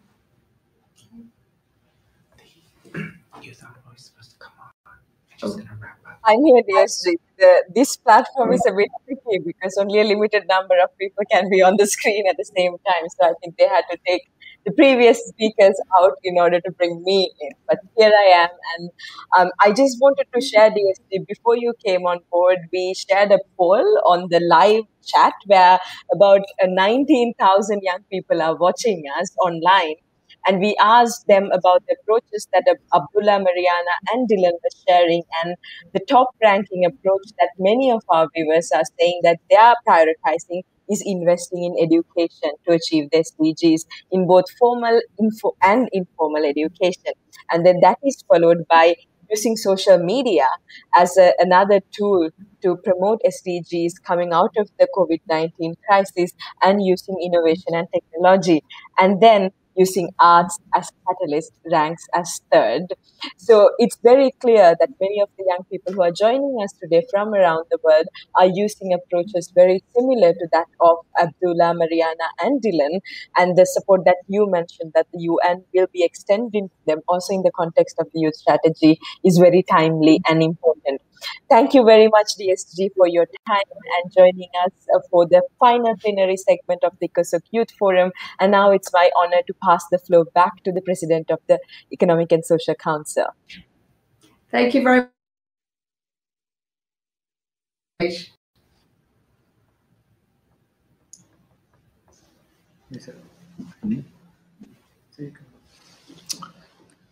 I'd like uh, uh, I'd like to thank uh, uh distinguished uh, uh, Deputy Secretary General and the Secretary General's envoy, as well as our youth participants, for that enlightening conversation and for sharing the thoughts and perspectives on strategic opportunities for youth to guide the debate and expectations for the future uh, as we come uh, to the closing part of uh, this year's Youth Forum. Uh, Excellencies, distinguished delegates, youth participants, I would now like to invite the Undersecretary General for Economic and Social Affairs, Mr. Liu Zhenmin, to make a closing statement. You have the floor. Mr. President of ECOSOC, Your Excellency Ambassador Akram, distinguished delegates and young colleagues, I wish to commend Ambassador Akram for organizing and hosting such an impressive youth forum on its 10th anniversary.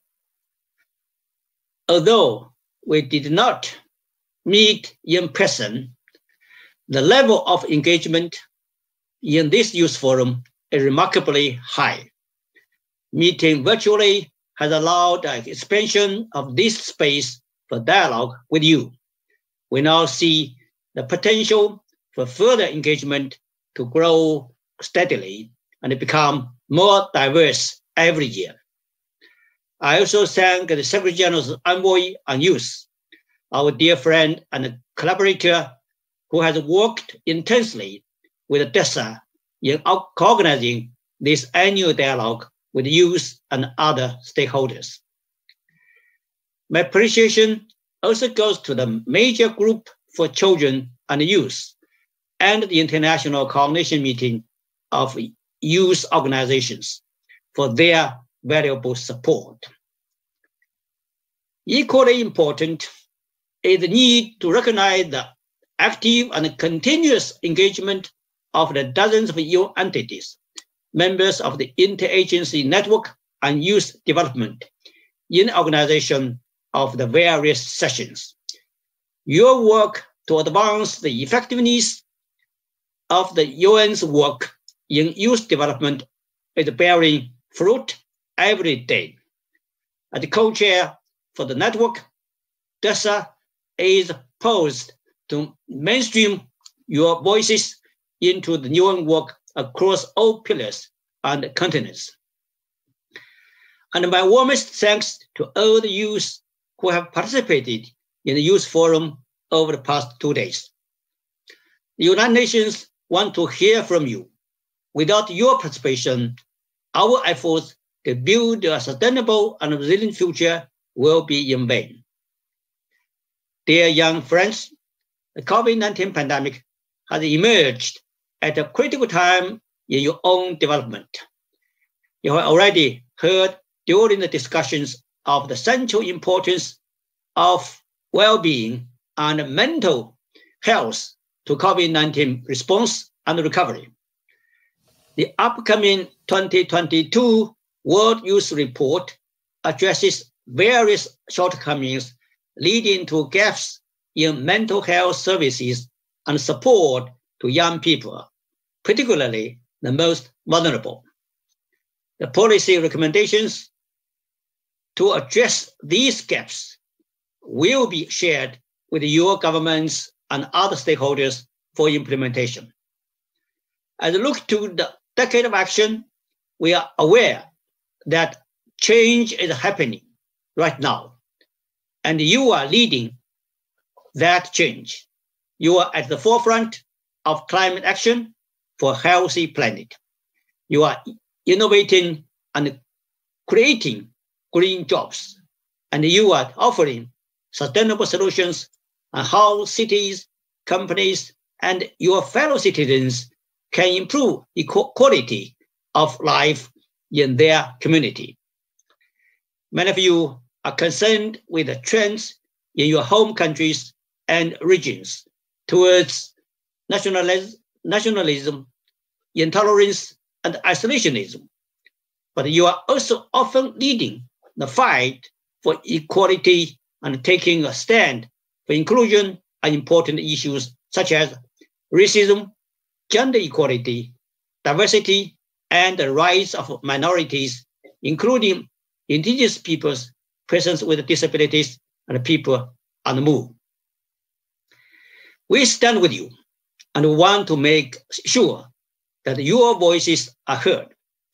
the underrepresentation of youth in political processes must be addressed. We know that structural barriers and biases, such as perceived experiences, a lack of supportive social networks, or insufficient financial resources, can be overcome. We can see from your leadership roles in climate action and addressing social injustice that you are interested in participating in the political process. Dear young colleagues, we also understand that your voices need to be heard in a more meaningful manner here at the United Nations on issues crucial to peace and sustainable development. We need to consider ways to strengthen youth engagement in intergovernmental processes as a part of reinvigorated multilateralism. This will be critical to fostering legitimacy and restoring trust among youth. Together, we need to address the short and long-term responses to COVID-19 and other complex national and global challenges. We will not leave you behind. Your competence and expertise, your passion and vision for a sustainable future will help us build a global movement of implementation. We will stand with you as a generation who will bring SDGs home in 2030. Count on myself and my department, UNDESA, among your supporters and partners. And I invite you to continue to share your ideas with us through youth networks and platforms. Together, we can move the youth and sustainable development agenda forward. I thank you. The, I thank the distinguished Undersecretary General for Economic and Social Affairs, uh, Mr. Liu Jianmin, for that uh, closing statement. I would now like to invite uh, two inspiring young sisters who are the founders of Bye Bye Plastic Bags and Youthtopia, Miss Melati Wijsen and Miss Isabel Wijsen, to make a joint closing statement. You have the floor. Thank you so much. The world is changing fast, faster than we want. And that's why we're very excited to be joining you virtually from Bali, Indonesia. For the last two days, we know you have been listening to many statements and stories, but we know that change is still happening too slowly. Nobody would have thought one and a half years ago that we would become experts on online meetings and that we would talk to each other like this from different continents and from different time zones. But we as youth know that we need to stand up. We need to see stronger commitments from those in positions of power. No more empty promises. We want action. We are living in a time where we can no longer sit on the sidelines. We have to wake up. And that starts with all of you here today. Our story started eight years ago. And if there's one thing that we have learned, it is that change does not happen overnight. It takes a lot of courage, persistence, and grit and of course, community. We as youth urge you to do your duty urgently, and we are here to help because we can. So, without further ado, we would like to share our learnings with you now. Please play our video. For decades, humanity has hid behind it is progress. For decades, you have ignored all science and signs because economic growth had priority. For the last few decades, you have been talking, meeting after meeting, and making unclear promises in a future that is too far away. So we do not have the luxury of time. We do not have the luxury to wait until we are grown up for action to happen. Every day, we do not ask and push you to act on change. We are losing our future and the future of all lives on our planet as we know it. Every day we are not marching, protesting, or acting ourselves. We are losing a future we want to be a part of. So do not tell us we are too young or we don't understand because we do. just in a different way and through a different lens. Plastic pollution is the problem we decided to do something about back in 2013 at the ages of 10 and 12 years old on our home island of Bali. With no business plan or agenda, we just started. It took us seven years, but with the help of many like minded, we championed the ban against single use plastic items like the bag, straws, and styrofoam. Our journey as young activists has been filled with many life lessons, lessons a normal textbook could never have taught us. And some of the most important lessons we've learned, we would like to share here with you today. Lesson number one you need to have a team. You cannot do it on your own. Today, Bye Bye Plastic Bags can be found in 57 locations in all corners of the world, all led by other young people. Yes, true collaboration and partnerships are the key to success. Two, a clear vision and goal, a target you can reach. And well, the rest is really never give up. Ever. Once you've mastered those two lessons, you, we, the youth, are unstoppable. We have spoken to over half a million students and youth globally, often online. Anywhere and always, there was one question How can I do what you do? And that led us to create Youthtopia! As we believe you all can do what we do. Youthtopia is all about youth empowerment and reaches the tools and support from young changemakers to the rising youth. We believe that every young person can be a changemaker. We know we are not alone. You are not alone. Our generation has the ability to accelerate that much needed change. We see challenges as opportunity. We turn obstacles into innovation. We can change any linear system into a circular one. We youth have the clear vision of the systemic change that needs to happen. As we are serious about change. The Sustainable Development Goals were created in 2015 to help and guide us reach a sustainable future and solve issues in 17 different areas. A better and sustainable future for all without leaving anybody behind to make the problems and issues understandable and the solutions workable. The SDGs provide a clear vision and an answer to many difficult questions like the how, the what, and the why. Imagine, just for a moment, that we, at all levels of the global community, leadership and governments, would accelerate change and commit to solve all the issues of the 17 SDG goals and leave nobody behind. This is the world we would see.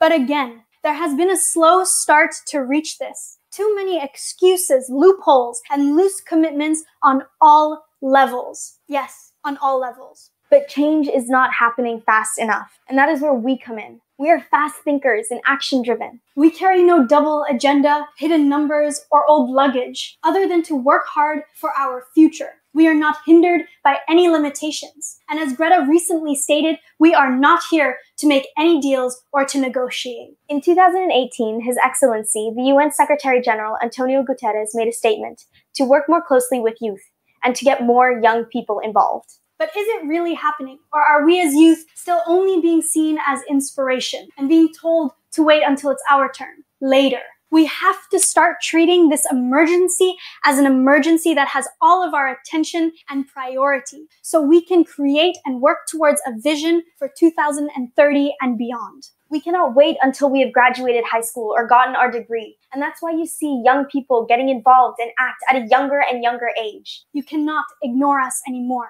Change is already here. Us kids may only be 25% of the world's population, but we are 100% of the future.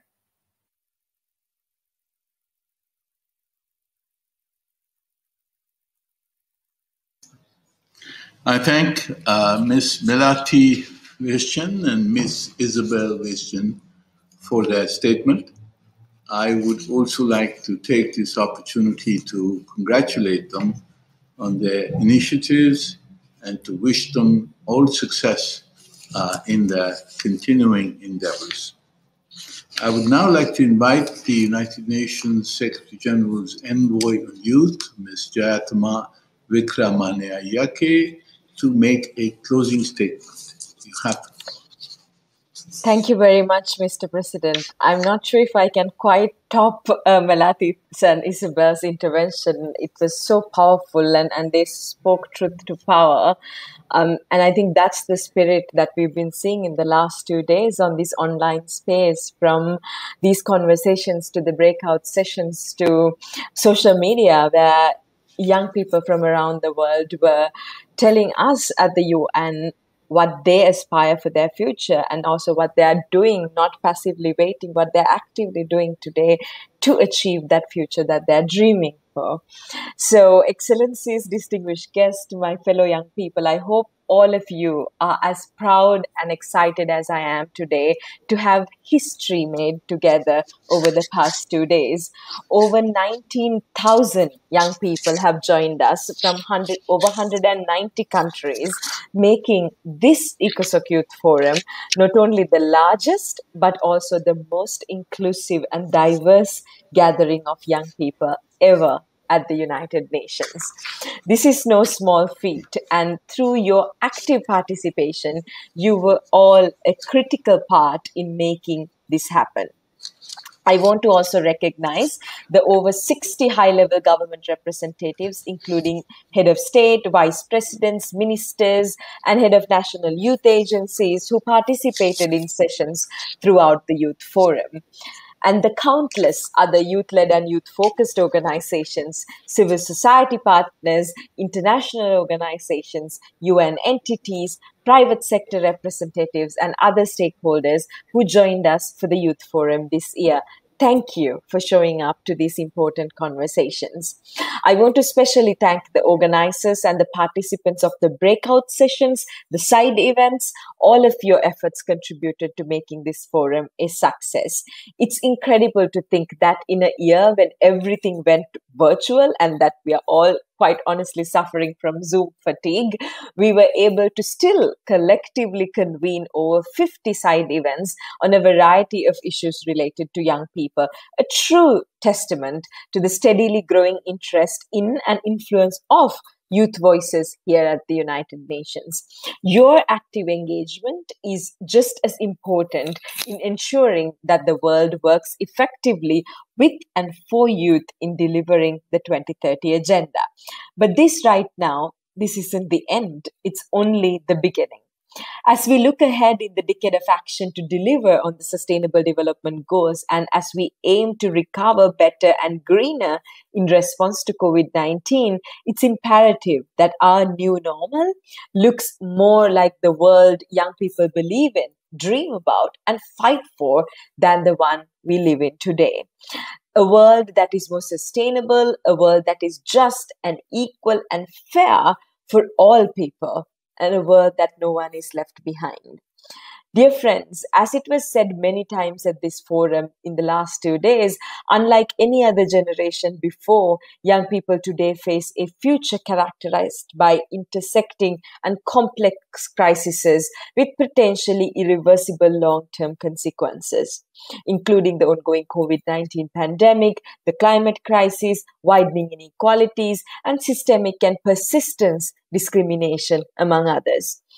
Participants of the forum highlighted that this is why more than ever we need intergenerational partnerships, not only to respond to the challenges of the present, but to recover from the mistakes of the past and build forward a better future for all of us. With this in mind, allow me to put forth a few concrete recommendations stemming from your discussions at the forum during the past two days. First, we need to build strong relationships with young people to regain their trust in institutions. Young people must be full fledged partners in SDG implementation and review. I urge all of you to recognize and value young people's expertise and vision when designing, implementing, and reporting on comprehensive youth policies. Those policies could be your policies to achieve the roadmap of the SDGs.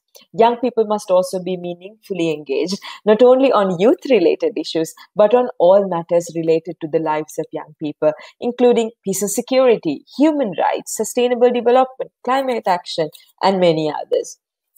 This means organizing consistent consultations with young people with a systemic follow up plan and communications, while also monitoring the implementation of young people's recommendations, including in relation to the voluntary national reviews, the universal periodic reviews, and other reporting mechanisms that member states adhere to.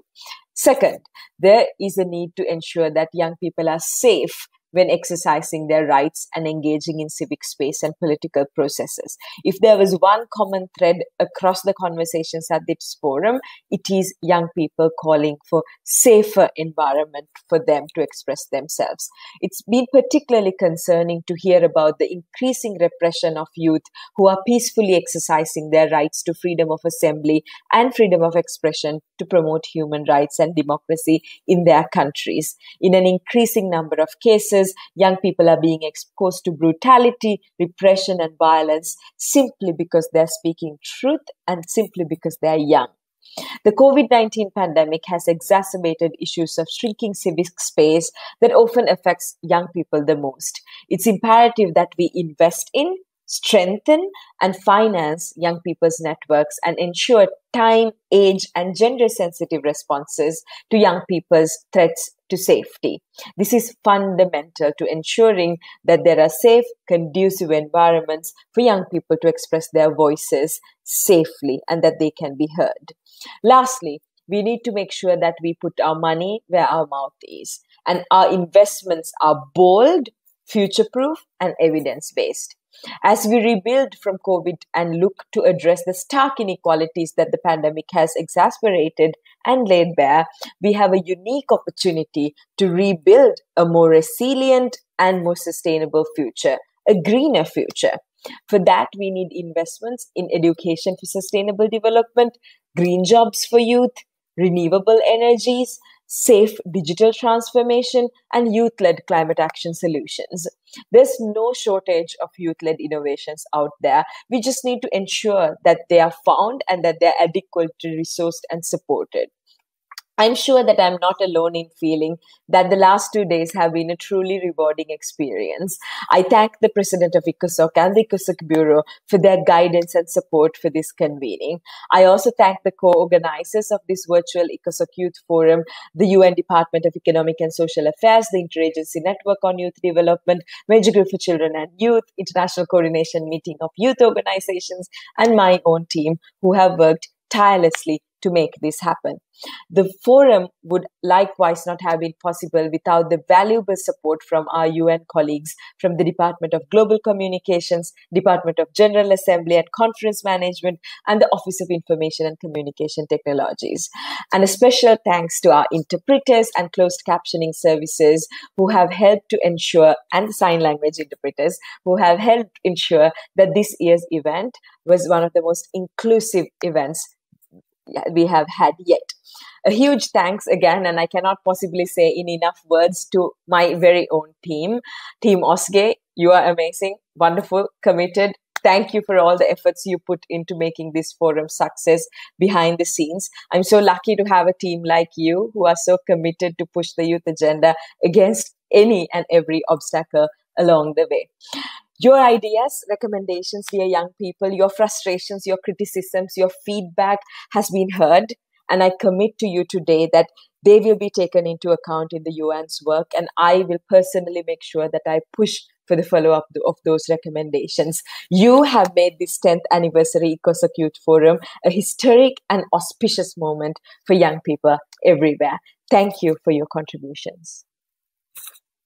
I would like to thank the Secretary General's envoy and youth for, for her um, important closing remarks and especially for the concrete recommendations for further action, uh, which she has listed and which no doubt will guide the efforts of the United Nations in, in the future. Uh, Excellencies, uh, distinguished colleagues, uh, distinguished youth participants, these two days have been a breath of fresh air uh, in the environment of the United Nations. We have heard the voices and vision of young people from all parts of the world, from diverse backgrounds, and on a range of issues that are vital to the world that the youth will inherit. We have heard about inclusive recovery from the pandemic, about achieving the sustainable development goals, creating decent jobs, eradicating hunger and poverty, and building resilient food systems. About making the transition to sustainable patterns of production and consumption, about removing inequalities, inequalities of wealth, gender, race, religion, or origin, and building a system of human interaction that promotes inclusiveness and peace. We have heard about utilizing science and technology, especially the digital space, to build a new world, a peaceful and more prosperous world in which young people clearly aspire to achieve. We have also heard about the perspectives of youth from different regions, from Asia and the Pacific, Africa, Europe, North America, and other states from Latin America and the Caribbean. This 10th anniversary of the Youth Forum has indeed been exceptional. It has affirmed that our endeavors at the United Nations will be designed for and increasingly by and with youth. That no one will be left behind, that the weak and the vulnerable, children, women, the aged, and the infirm, will be the first to be protected. I would like to thank all of those who have contributed to the success of this forum. The young people, of course, who brought fresh ideas, brought their ideals, their aspirations, and their vision to this discourse. The ministers who took the time to be with us and to listen and to respond to youth. To the major group on children and youth, the International Coordination Meeting of Youth Organizations, the UN Interagency Network on Youth, and especially, of course, the Secretary General's Envoy on Youth, who has guided the entire forum's proceedings. I would also like to thank the United Nations Department for Economic and Social Affairs and my dear friend, Ambassador Liu Zhenmin, the Department of Global Communications, Conference Management, the BCSS, and of course our interpreters. Thank you all. This has indeed been a successful forum, as we have heard, over 19,000 young people have participated. Clearly, we need a more intensive and continuing engagement with youth. And I believe that with the recommendations that we have heard from the Secretary General's envoy, we will be intensifying our interaction with youth. So thank you all. To commemorate and celebrate this event, I would now like to invite you to watch the, a closing collage of the diversity of youth who joined and contributed to the success of this forum.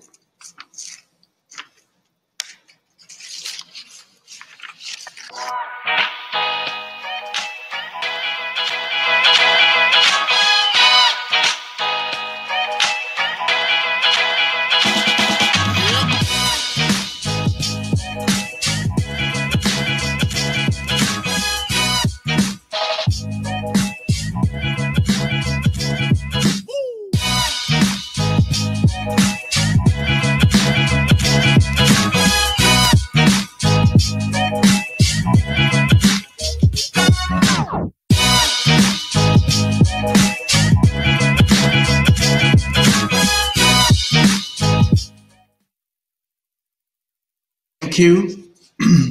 Until we meet again, I would wish all of you stay safe and healthy, stay bold and vocal. This Youth Forum of the Economic